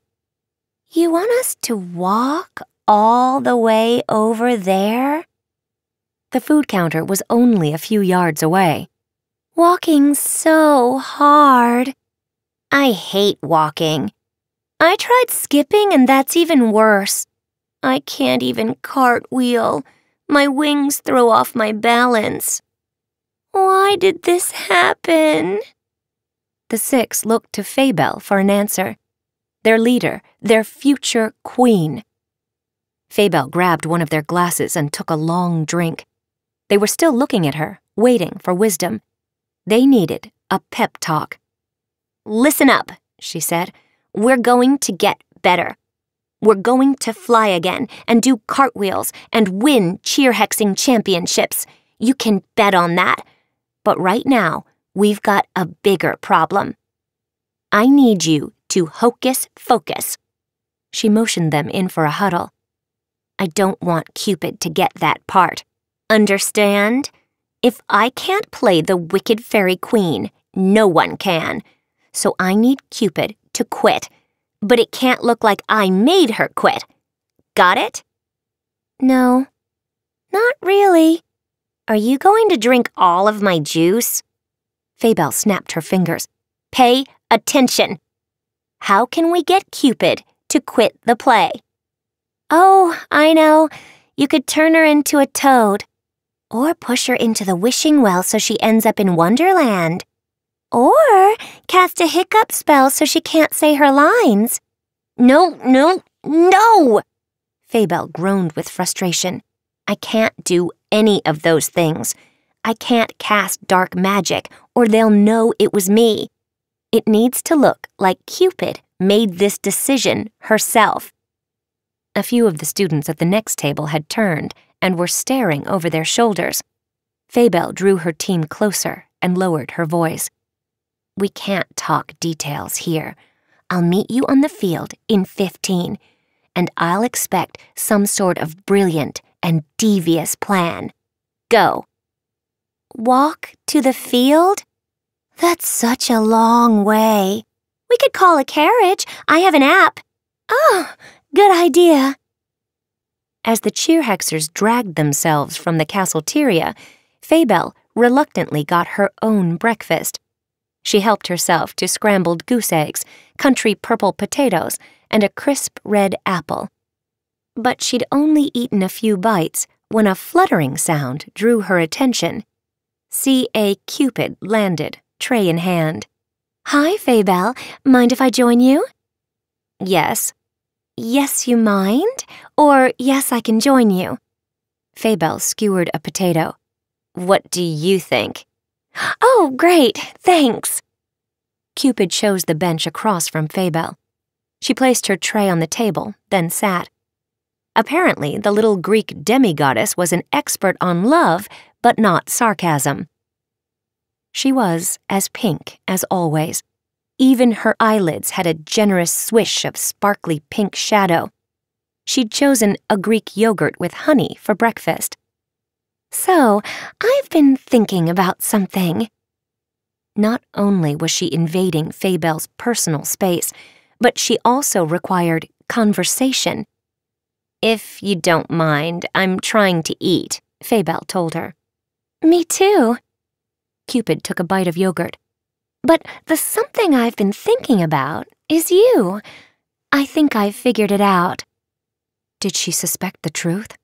Did she know Faybelle had cast the wilted wing spell? Faybelle set her fork aside. Do go on. I'm tingling with expectation. You said that dark fairies never get sick, yet here you are, just like the others, with the same illness. But did you know that our immune systems are influenced by our emotions? Sadness, depression, and stress make us more vulnerable to disease. But joy, laughter, and love make us stronger. More feel good mumbo jumbo. I've heard enough, Faybelle said. You can leave now. But I haven't told you my idea. So not interested. Cupid wasn't discouraged by Faybelle's snarky tone. I think the reason you got sick is because you need more love in your life. If you want, I could help make a match for you. Matchmake? Don't you dare shoot me with one of those arrows. She pointed to the golden quiver that hung from Cupid's shoulder. Oh, I'd never do that. I only use my arrows in emergency situations because they are so powerful. Did you know that one of my arrows would make you so loopy you wouldn't be able to think clearly? You'd quit your clubs, stop going to class. You wouldn't want to do anything but pursue love. She giggled.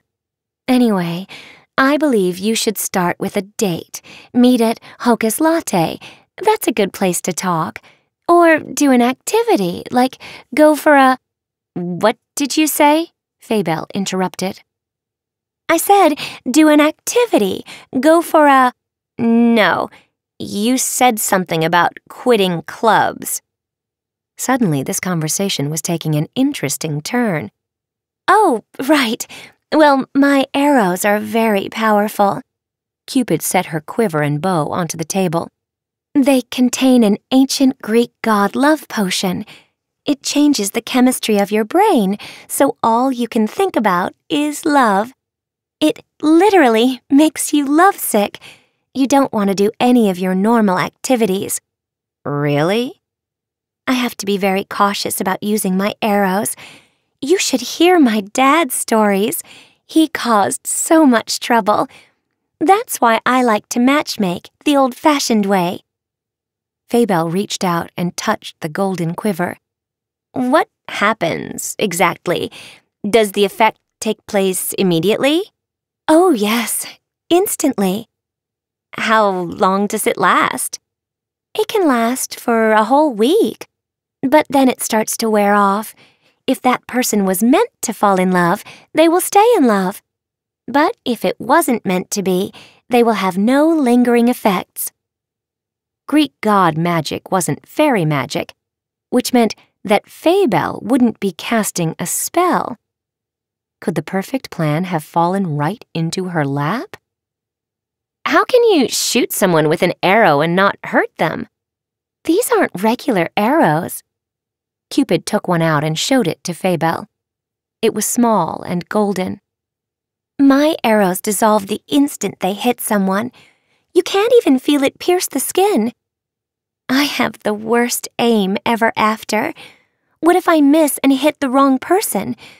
I can't count the number of times I've almost shot myself in the foot. She laughed. Then she slid the arrow back into the quiver. Shooting myself with my own magic. Can you believe that? Faybelle glowered at her. You'd have to be totally lame to hit yourself with your own magic. Hey, Cupid, a voice called. Ashlynn and Briar were standing a few yards away. You want to come with us? Ashlynn asked. We're taking breakfast to Farrah. She's feeling super sad about her wings. Briar held up a platter. We thought we'd cheer her up with some fairy berry pancakes. The whipped cream jiggled. Oh, I want to help cheer her up too, Cupid called. Bye, she said to Faybelle, and she flew after the princesses. Faybelle smiled. Her hands closed around the bow and the quiver, which Cupid had left behind. Chapter 17 Twinkle Toes When Faybelle arrived at the athletic field, she was surprised to find that the six cheerhexers were not there as instructed. Apparently, the chariot app hadn't worked, so they'd only walked halfway before deciding they were too tired to take another step. So Faybelle had to go look for them.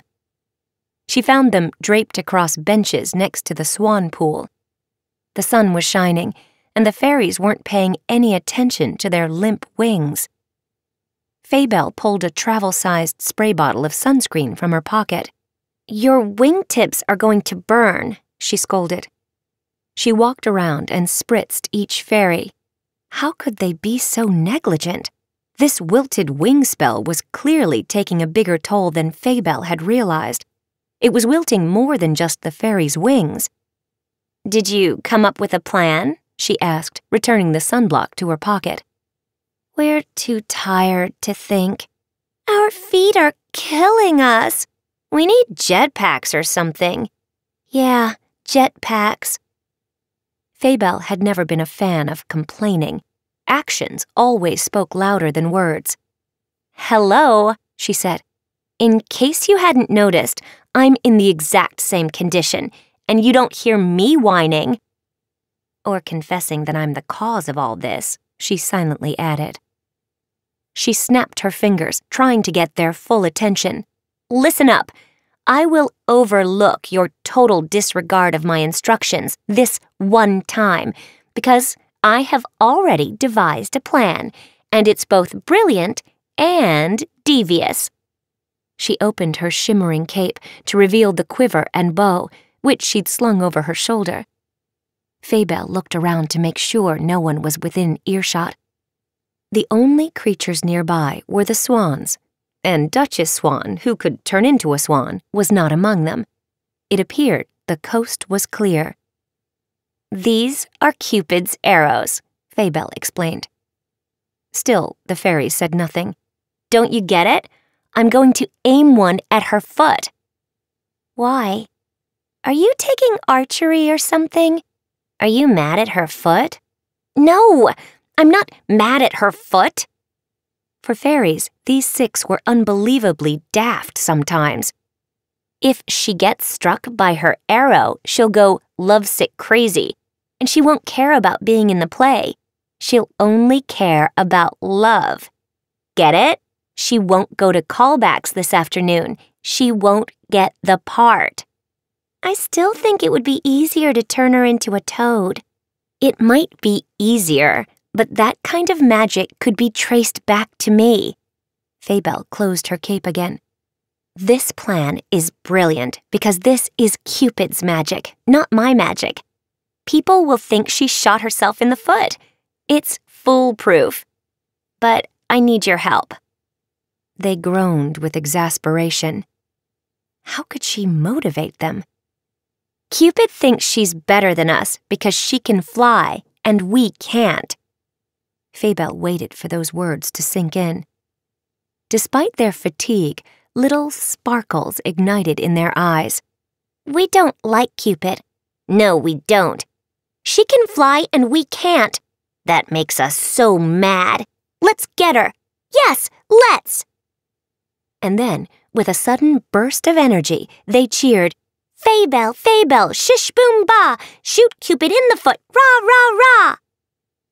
There was nothing like an evil plan to bring the cheerhexers together once again. It didn't take long to find Cupid. She'd already posted signs all over campus about her lost bow and arrows. Lost. A golden bow and quiver of golden arrows. If found, please return to me, Cupid. I'll be down at the stables, feeding Peggy, my Pegasus. Getting to the stable required more walking, but they finally made it. The stable doors stood wide open. Faybelle told the cheerhexers to wait beneath a grand oak tree while she surveyed the situation. She crept to the barn and peeked around the doorframe. Cupid was standing in the middle of the barn, brushing a lovely white-winged pony. The pony's ears pricked, and she glanced at Faybelle, but Cupid didn't notice. Faybelle couldn't have wished for a better location.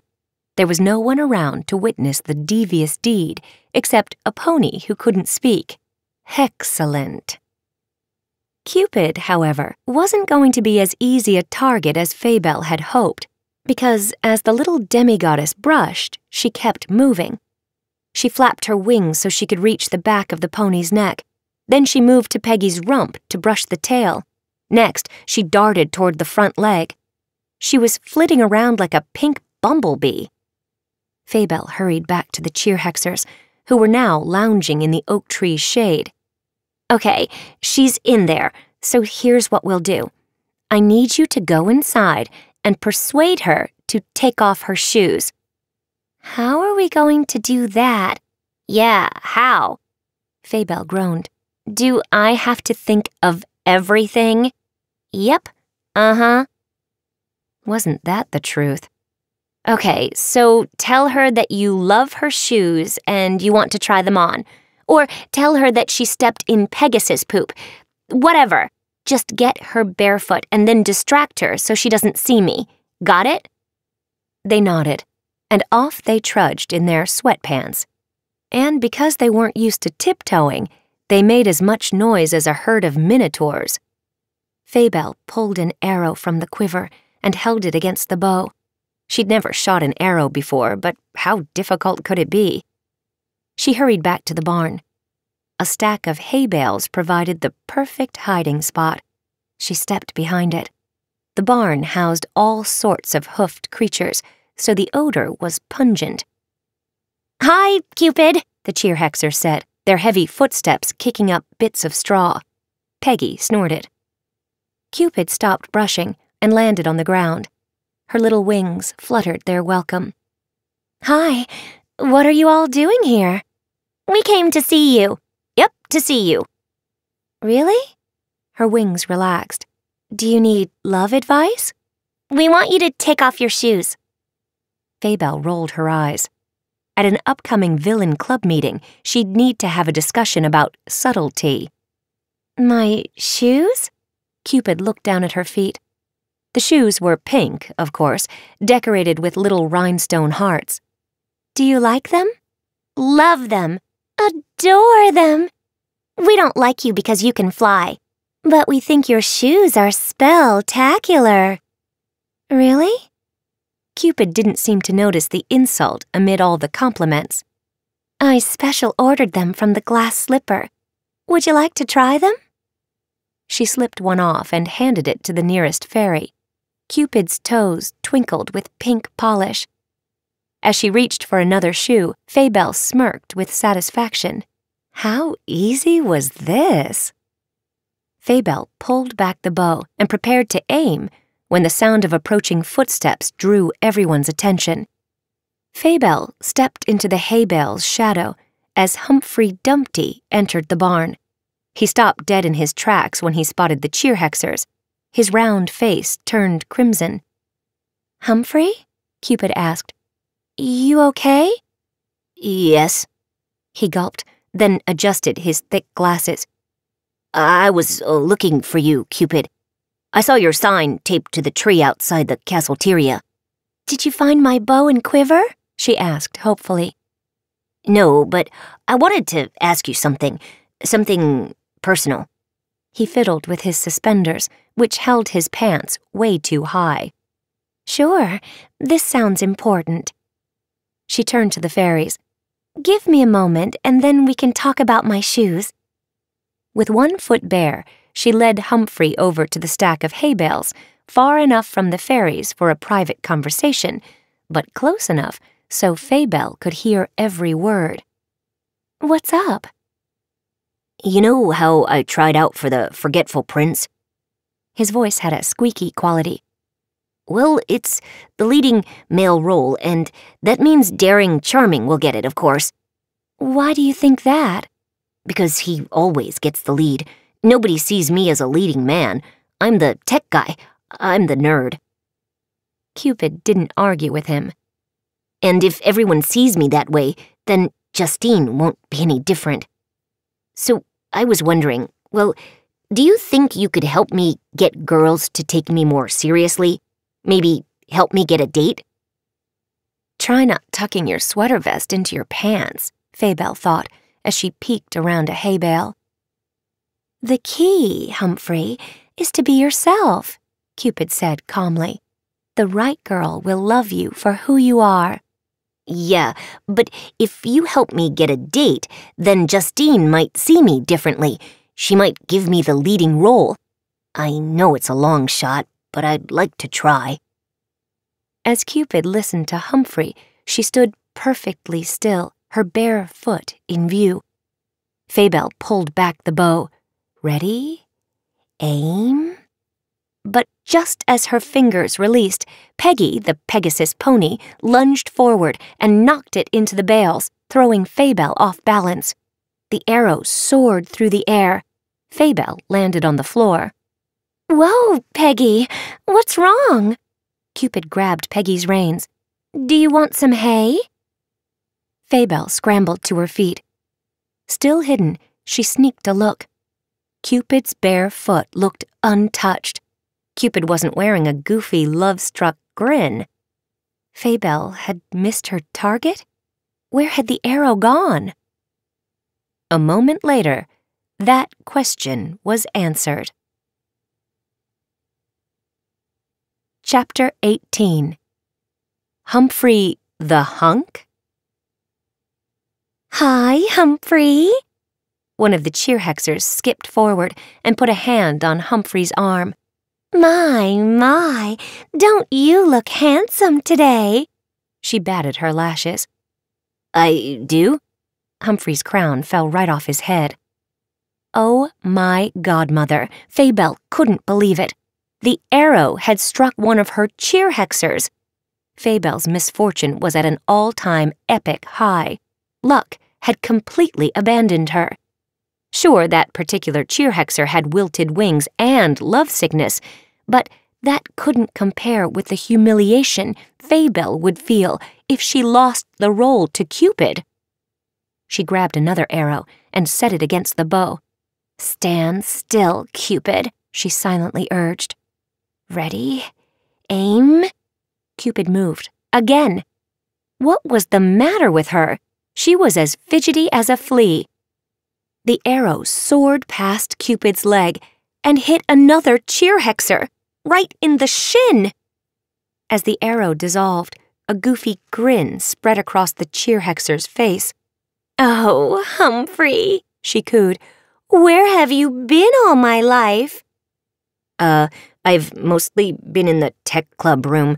We've been recalibrating a pumpkin stagecoach motor. Faybelle couldn't believe this was happening. Without even thinking, she grabbed another arrow, narrowed her eyes, and took aim. Cupid moved again. The arrow whizzed past Peggy's tail and hit a third cheer hexer. This one took her arrow in the shoulder. Oh, Humphrey, the latest victim gushed. That sounds so exciting. Can I recalibrate with you? Humphrey was speechless.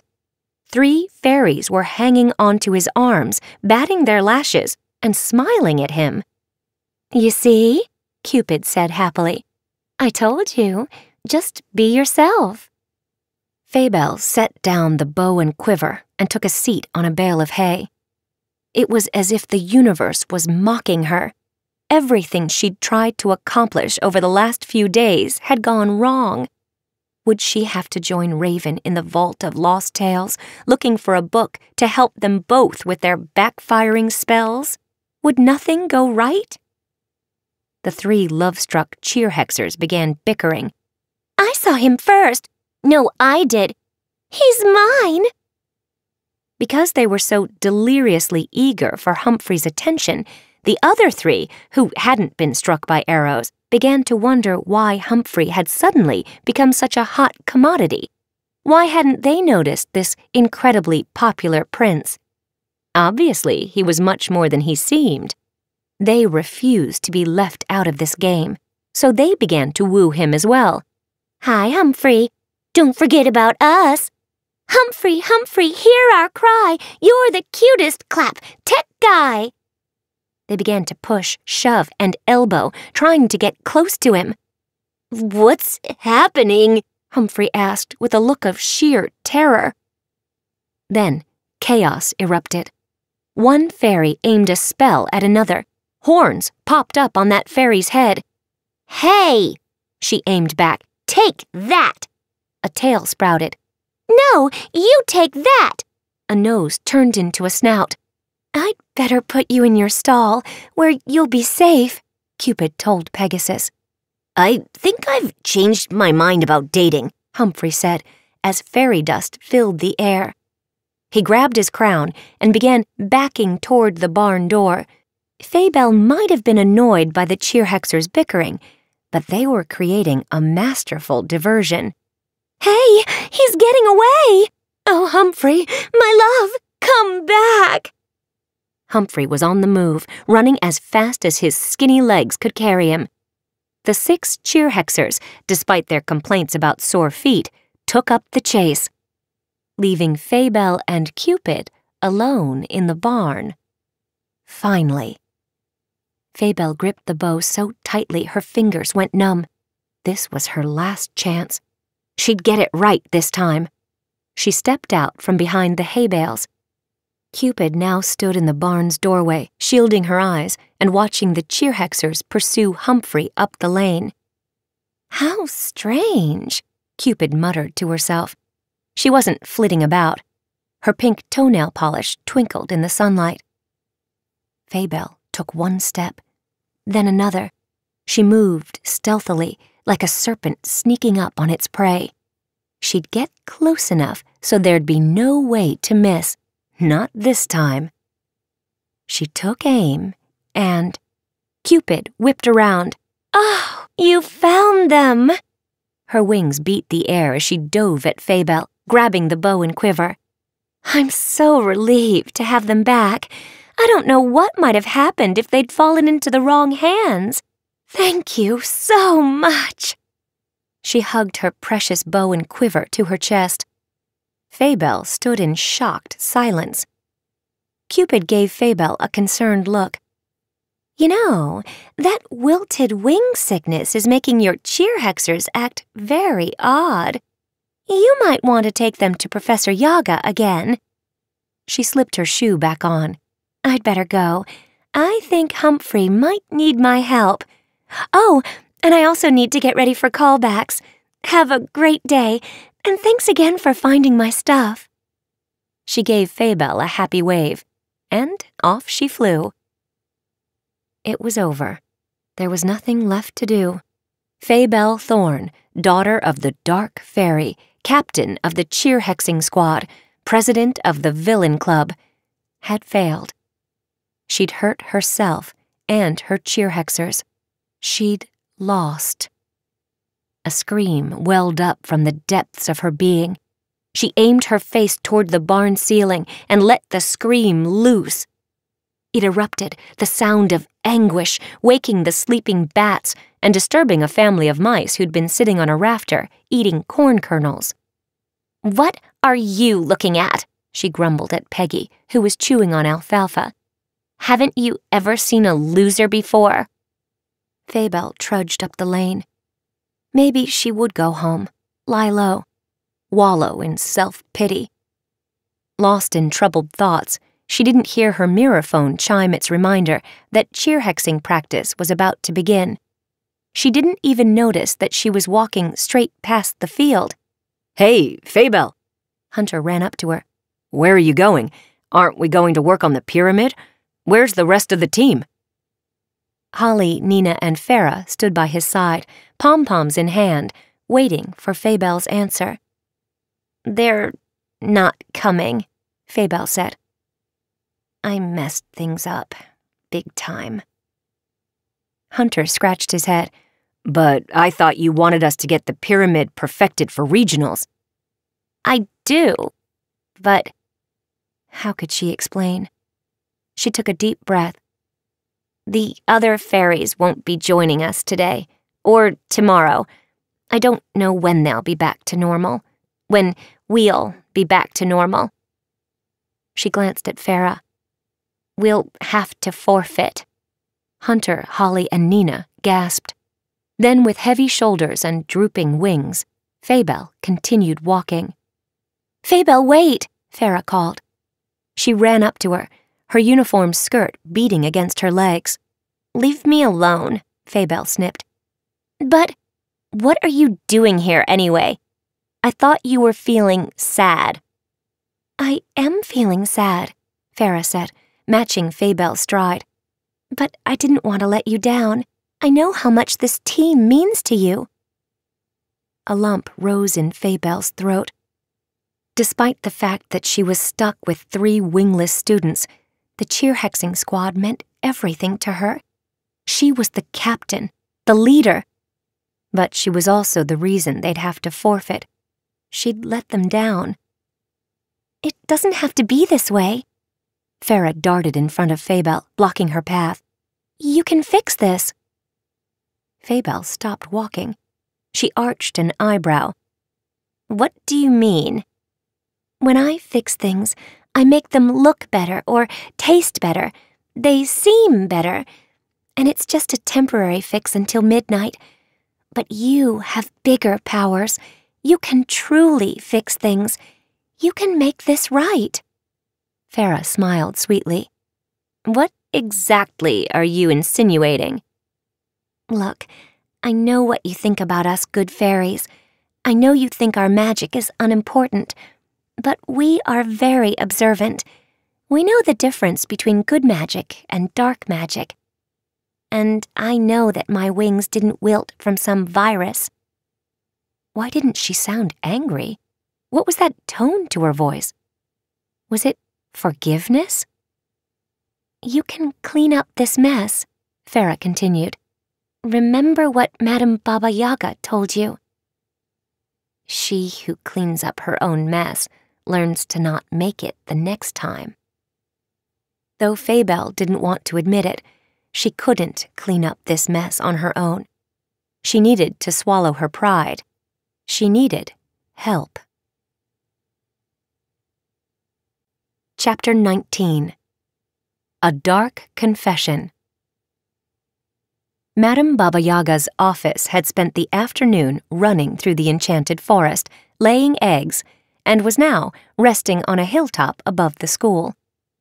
With its chicken legs stretched out, the office snored gently and didn't stir, not even when Faybelle knocked on the door. Hello, Faybelle.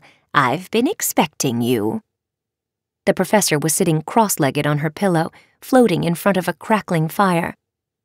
Though it was stuffy in the office, she'd wrapped her scarf around her shoulders, and she wore a thick pair of wool socks. Just warming up my old bones, she explained. Come, have a seat. Faybelle settled into a big, cushy chair. Despite the numerous patches, stuffing was leaking out. She arranged her cape. She felt ridiculous wearing it, but she still wanted to hide her injured wings. Once settled, she looked around the office. Like most professors, Madame Baba Yaga had an extensive collection of books, but she also had a crystal ball collection and a wall of framed degrees. A thin trail of smoke arose from a bowl of burning incense. Faybelle fidgeted. There was no use stalling. She'd come here for a reason. You know everything, don't you? That's why you've been expecting me. I would never profess to knowing everything, but I am aware of certain magical happenings. Madame Baba Yaga motioned with her hand. A kettle that had been sitting on a grate over the fire drifted across the room and began to pour its contents into a mug. Though tea is all the rage on campus these days, I still prefer strong black coffee. Would you like a cup? No, thank you. Faybelle fidgeted. It wasn't just the temperature of the room that was making her uncomfortable. It was also a jittery feeling in her stomach. Had coming here been a mistake? Should she leave and never tell anyone the truth? I... I... I'm listening. If I tell you why I'm here, will it go on my student record? The mug floated into Madame Baba Yaga's hand. She took a few sips. Her hoop earrings gleamed in the firelight. Do you want this conversation to be recorded on your student record? No, I don't want anyone to know what happened. I don't want to ruin my reputation. After another sip, the professor set the mug onto her desk, then folded her hands in her lap. Very well. For this meeting, I shall remove my professor hat. She mimicked taking off a hat and casting it aside. I am no longer acting as your teacher. Whatever you say shall be completely confidential. She paused. Unless, of course, you broke a law. Did you break a law? Faybelle shook her head. Excellent. Proceed. There was so much to say. Faybelle didn't know how to begin. I made a huge mess, she blurted. Then the whole story poured out.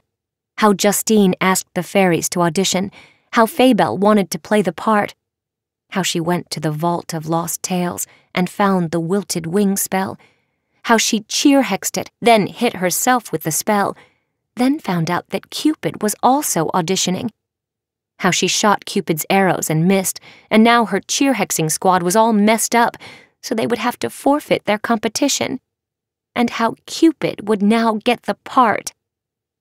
This kind of stuff isn't supposed to happen to me.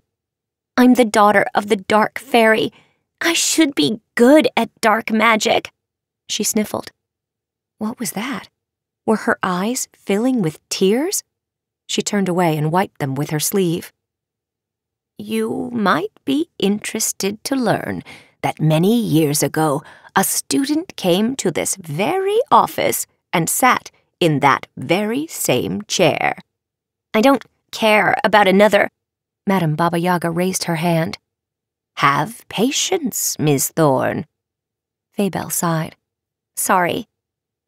As I was saying, this student came to me with a problem. She was auditioning for the lead in the school choir. Wanting to eliminate the competition, she tried to steal her rival's voice, but her attempt at dark magic was a failure. The only way she could tell me the truth was to write it on paper. She pointed at a filing cabinet. The third drawer opened, a file rose into the air, then a small slip of paper floated out. It flew toward Faybelle, who reached up and grabbed it. Go on, Miss Thorn. Read it. Dear Madam Baba Yaga, I made a terrible mistake. I cast a spell, but it bounced off a mirror, and now I've stolen my own voice. Can you help me? Faybelle recognized the handwriting. My mother? It wasn't possible. Her mother would never make such a rookie mistake. Everyone knew not to cast spells near mirrors. Do you think you are the only one whose magic has gone awry? Madame Baba Yaga asked. But she's the dark fairy. She is dark magic. She wasn't always the dark fairy. She was once a student, just like you, impatient, self important, and sometimes overachieving. Faybelle's tears had dried. She sat up straight. Hold on. You just said overachieving as if it were some sort of insult. I work hard. What's wrong with that? There is nothing wrong with hard work, but if you try to be the best at everything, you risk becoming the best at nothing. You spread yourself as thin as a fairy wing. Madame Baba Yaga slid off the pillow and walked over to Faybelle. President of the Villain Club, captain of the cheer hexing squad, a full course load, plus you're an honor roll student. And now you want to be a lead in the upcoming theatrical production? Why? It's the Wicked Fairy Queen. I want the whole student body to see me in that role. They already see you in that role, Miss Thorn. Haven't you noticed the way they look at you? She took the paper from Faybelle and returned it to the filing cabinet. Once your mother decided to focus on the things that really mattered to her, rather than on the activities she thought would make her seem important, she began to grow. Her magic began to grow Magic is unpredictable and thus requires great focus. Anything that is worthwhile requires great focus. She closed the cabinet drawer, then turned her attention back to Faybelle. Emotions are also unpredictable. Sometimes we can't control them. There is no shame in our emotions. She stared intently at Faybelle. Faybelle frowned. What are you talking about? What emotions? I understand that you are feeling sorry for yourself. You have wilted wings, and that must be a terrible sensation. But is anything else troubling you? Faybelle folded her arms, her expression rigid with defiance. Try to prove I'm feeling something. Go ahead but there was that lump in her throat again, and that heaviness in her chest. You think I feel bad because I hurt other people? Other fairies? She snorted. I'm a villain. Of course I don't feel bad. If I did, that would mean I'm a total failure. She relaxed her arms a bit. Wouldn't it? Madame Baba Yaga did not respond. I suppose you want me to say that I'm sorry I hurt my cheer hexers. They didn't do anything to deserve wilted wings, and they certainly didn't want to be in love with Humphrey. And I suppose that Farrah, who is so nice to everyone and who makes dreams come true with her magic, Faybelle rolled her eyes. I suppose she didn't deserve wilted wings either. And maybe, just maybe, I feel a little bad. And maybe I wish I could go back in time and never cast that spell. But I can't do that. You said no more magic. Still, Madame Baba Yaga said nothing. Faybelle leaped to her feet. Holy epic fairy failure! She began to pace. What's wrong with me? How can I be a villain if I feel sorry for my victims? There's nothing wrong with you, Madame Baba Yaga assured her. Villain status doesn't mean you are an emotionless robot. On the contrary, fairies feel and sense everything at a deeper level than those without wings. A dark fairy is the most sensitive of all. The professor's old legs creaked as she walked toward Faybelle. She clasped both her hands around Faybelle's. Savor this lesson, my child. Use dark magic only when absolutely necessary. In this case, it was not needed. You think I would have gotten the role without magic? Madame Baba Yaga nodded. Who better to play a wicked fairy queen than you? Justine knows that. A clock chimed. The office began to tremble as it rose up on its chicken legs. It's time for some exercise, which means we will soon be on the move, Madame Baba Yaga said. Perhaps this is a good time for you to make your exit. Faybelle certainly didn't want to get stuck running around the enchanted forest with the professor's weird office. Madam, you said I needed to clean up my own messes. Is there a spell I can use to undo my magic? All dark fairies have the power to undo their magic, but there's a catch. Faybelle groaned. What? The spell will work on your victims, but it won't work on you. Your wings will have to recover on their own. I figured you were going to say that. Chapter 20 Pyramid Perfection With special permission from Madame Baba Yaga, Faybelle cheer-hexed a spell to reverse all the magical chaos she'd created over the last couple of days. She chose to perform it on the athletic field, the one place where a cheer wouldn't raise suspicions. There weren't many students around, just the ever after high croquet team, and they were on the far side of the field with their hedgehogs and mallets. Magic, magic, hear my cry, stomp. Dark deeds, dark deeds, say goodbye, stomp. Magic, magic, in your face, clap. Erase it all without a trace, stomp. As the fairy dust cleared, she lowered her pom poms. There was a long stretch of not knowing. Had it worked? Or had she, the daughter of the dark fairy, once again failed to achieve her magical goals? Then, on the horizon, six figures appeared, in flight. A shiver darted up Faybelle's spine, for it was a spectacular sight to behold. But alas, even as the six fairies soared and dipped, her own wings hung against her back, as wilted as forgotten flowers. Our wings work! they exclaimed as they landed beside her. They began to bounce up and down like, well, like cheer hexers. But weren't we chasing someone? I'm not sure. You were chasing Humphrey. We were?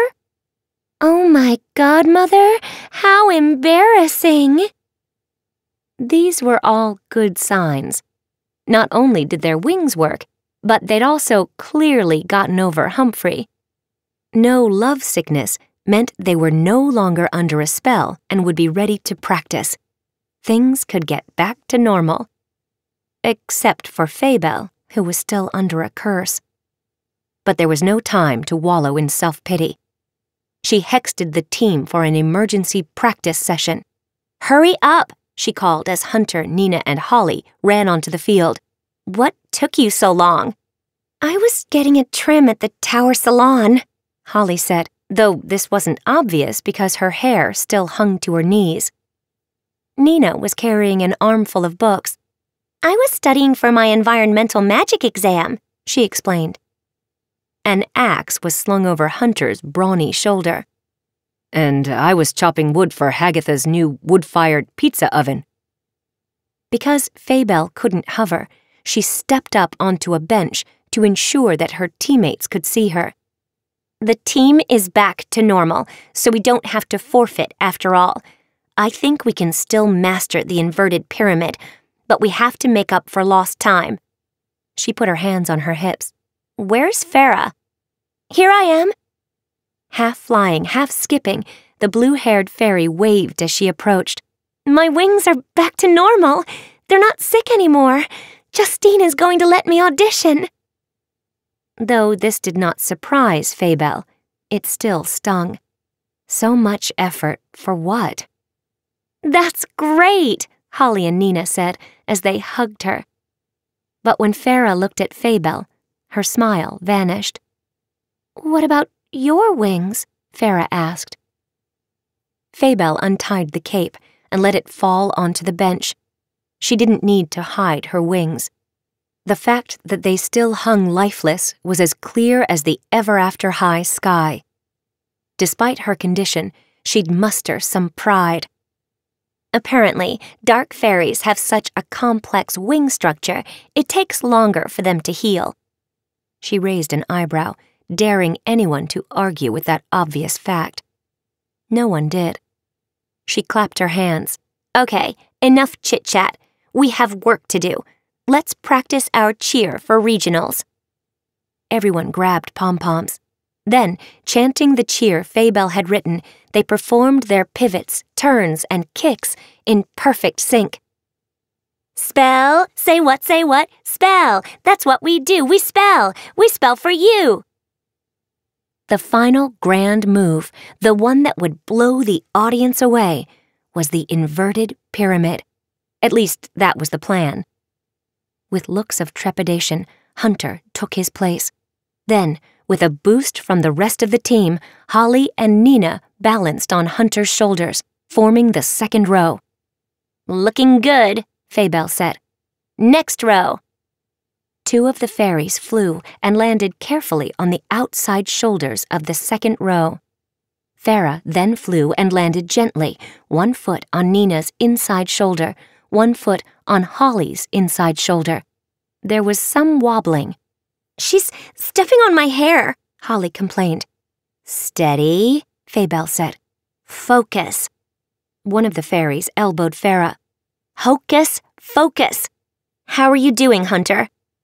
His face was turning red. I'm okay. Just hurry it up.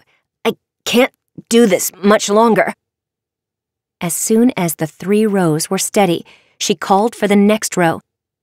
The last four fairies took to the air then gently landed on the shoulders of the third row. Farrah's knees buckled, but only for a moment. Nina began to sag. Faybelle clenched her jaw. They were so close. Faybelle held her breath. The pyramid teetered to the right, then the left. Whoa, Hunter moaned. I can't hold on any longer, Nina warned. Anything that is worthwhile requires great focus, Faybelle told them, quoting her wise old professor. Close your eyes and think of nothing but this pyramid. As her team followed their captain's instructions, the inverted pyramid took its perfect upside down shape. Faybelle gave them a standing ovation. The trophy would be theirs.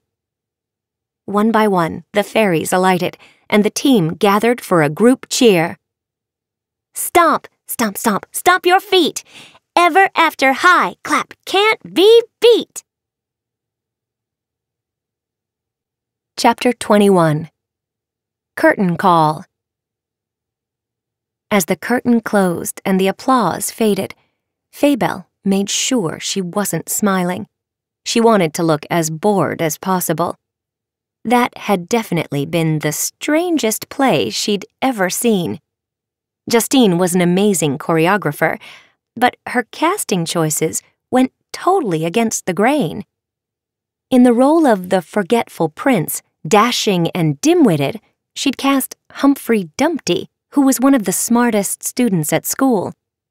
In the role of the melancholy princess, gloomy and whiny, she'd cast Ashlynn Ella, who was always smiling and happy. And for the wicked fairy queen, brooding and evil, she'd cast Farrah Goodfairy, who was as twinkly and kind as a fairy could be. Hello, talk about an insult to dark fairies everywhere. But despite the unusual casting decisions, the play had been entertaining. Especially Humphrey's fight scene. He'd tripped over his own feet and almost impaled himself on his own stage sword. Having impaled herself with her own magic, Faybelle knew exactly how Humphrey felt. But the music had been good, and there'd been quite a few laughs. Cupid had landed a part in the chorus and had ended up with a mini solo. Wake up, Faybelle told her cheerhexers. All six of them had fallen asleep in the middle of the melancholy princess's monologue. It's over. You would have been so much better, one of them said with a yawn. So much better. That little good fairy stank. Stank up the whole stage. Stop pushing me. You stop pushing me. Many of the actors, still in costume, were gathering in the lobby to greet family and friends who'd come to the show. Faybelle meant to walk straight through, but an all too familiar voice called her name. She turned to find Farrah beaming at her. Farrah wore a black wig, but a few strands of blue hair peeked out. What did you think? Farrah asked. The grin on her face was huge, and her cheeks were flushed. Faybelle narrowed her eyes. What did I think about what? About the play, of course. She shrugged. It was boring, said one of the fairies. So boring. It made me fall asleep. Me too. Oh, is that Humphrey? Hi, Humphrey. Faybelle raised a hand to quiet them. The play was better than I expected, she said. If the good fairy wanted a bigger compliment than that, she'd have to stand there until Wonderland froze over. Oh, that's so nice to hear, Farrah said. Then her smile faded. But the only reason I got the part was because your wings didn't heal in time. I feel so badly about that. Faybelle didn't want to have this conversation. There was no time in her schedule to dwell on what might have been. Look, you did fine. Even if my wings had healed in time, I'd already decided that I needed to cut back on my activities and focus on the things that are most important to me. Acting isn't one of those things. That sounds like a smart plan. Farrah's blue eyes twinkled. She stepped closer and lowered her voice. But you and I both know the wicked fairy queen should have been your part. The six fairies waited for Faybelle's response. Everyone in earshot turned and watched. Faybelle's wings shuddered. Of course, the part should have been hers, but that was in the past. Faybelle was determined to be the sort of fairy who looked to the future. She wasn't going to fret about the fact that she'd messed up. After all, another very famous dark fairy had made youthful mistakes too, and she'd turned out amazing. And Faybelle had also decided that she wasn't going to worry so much about whether everyone saw her the way she wanted them to see her. Her destiny had been decided, and she'd claim it when the time was right. Farrah was still looking at her. I'm sorry you didn't get the part. Sorry? Faybelle threw back her head and laughed as deviously as she could. Don't worry your pretty little self about me, Farrah Good Fairy. I get to play the part of the wicked fairy queen for the rest of my life. With dramatic flair, Faybelle unfurled her magnificent wings. The six cheer hexers cheered. Everyone stepped aside. Was that fear she saw in a few eyes? How delightful! Then she flew from the lobby, and the air embraced her once again. Regional Champions, Ever After High Cheerhexers, led to victory by Team Captain Faybelle Thorn.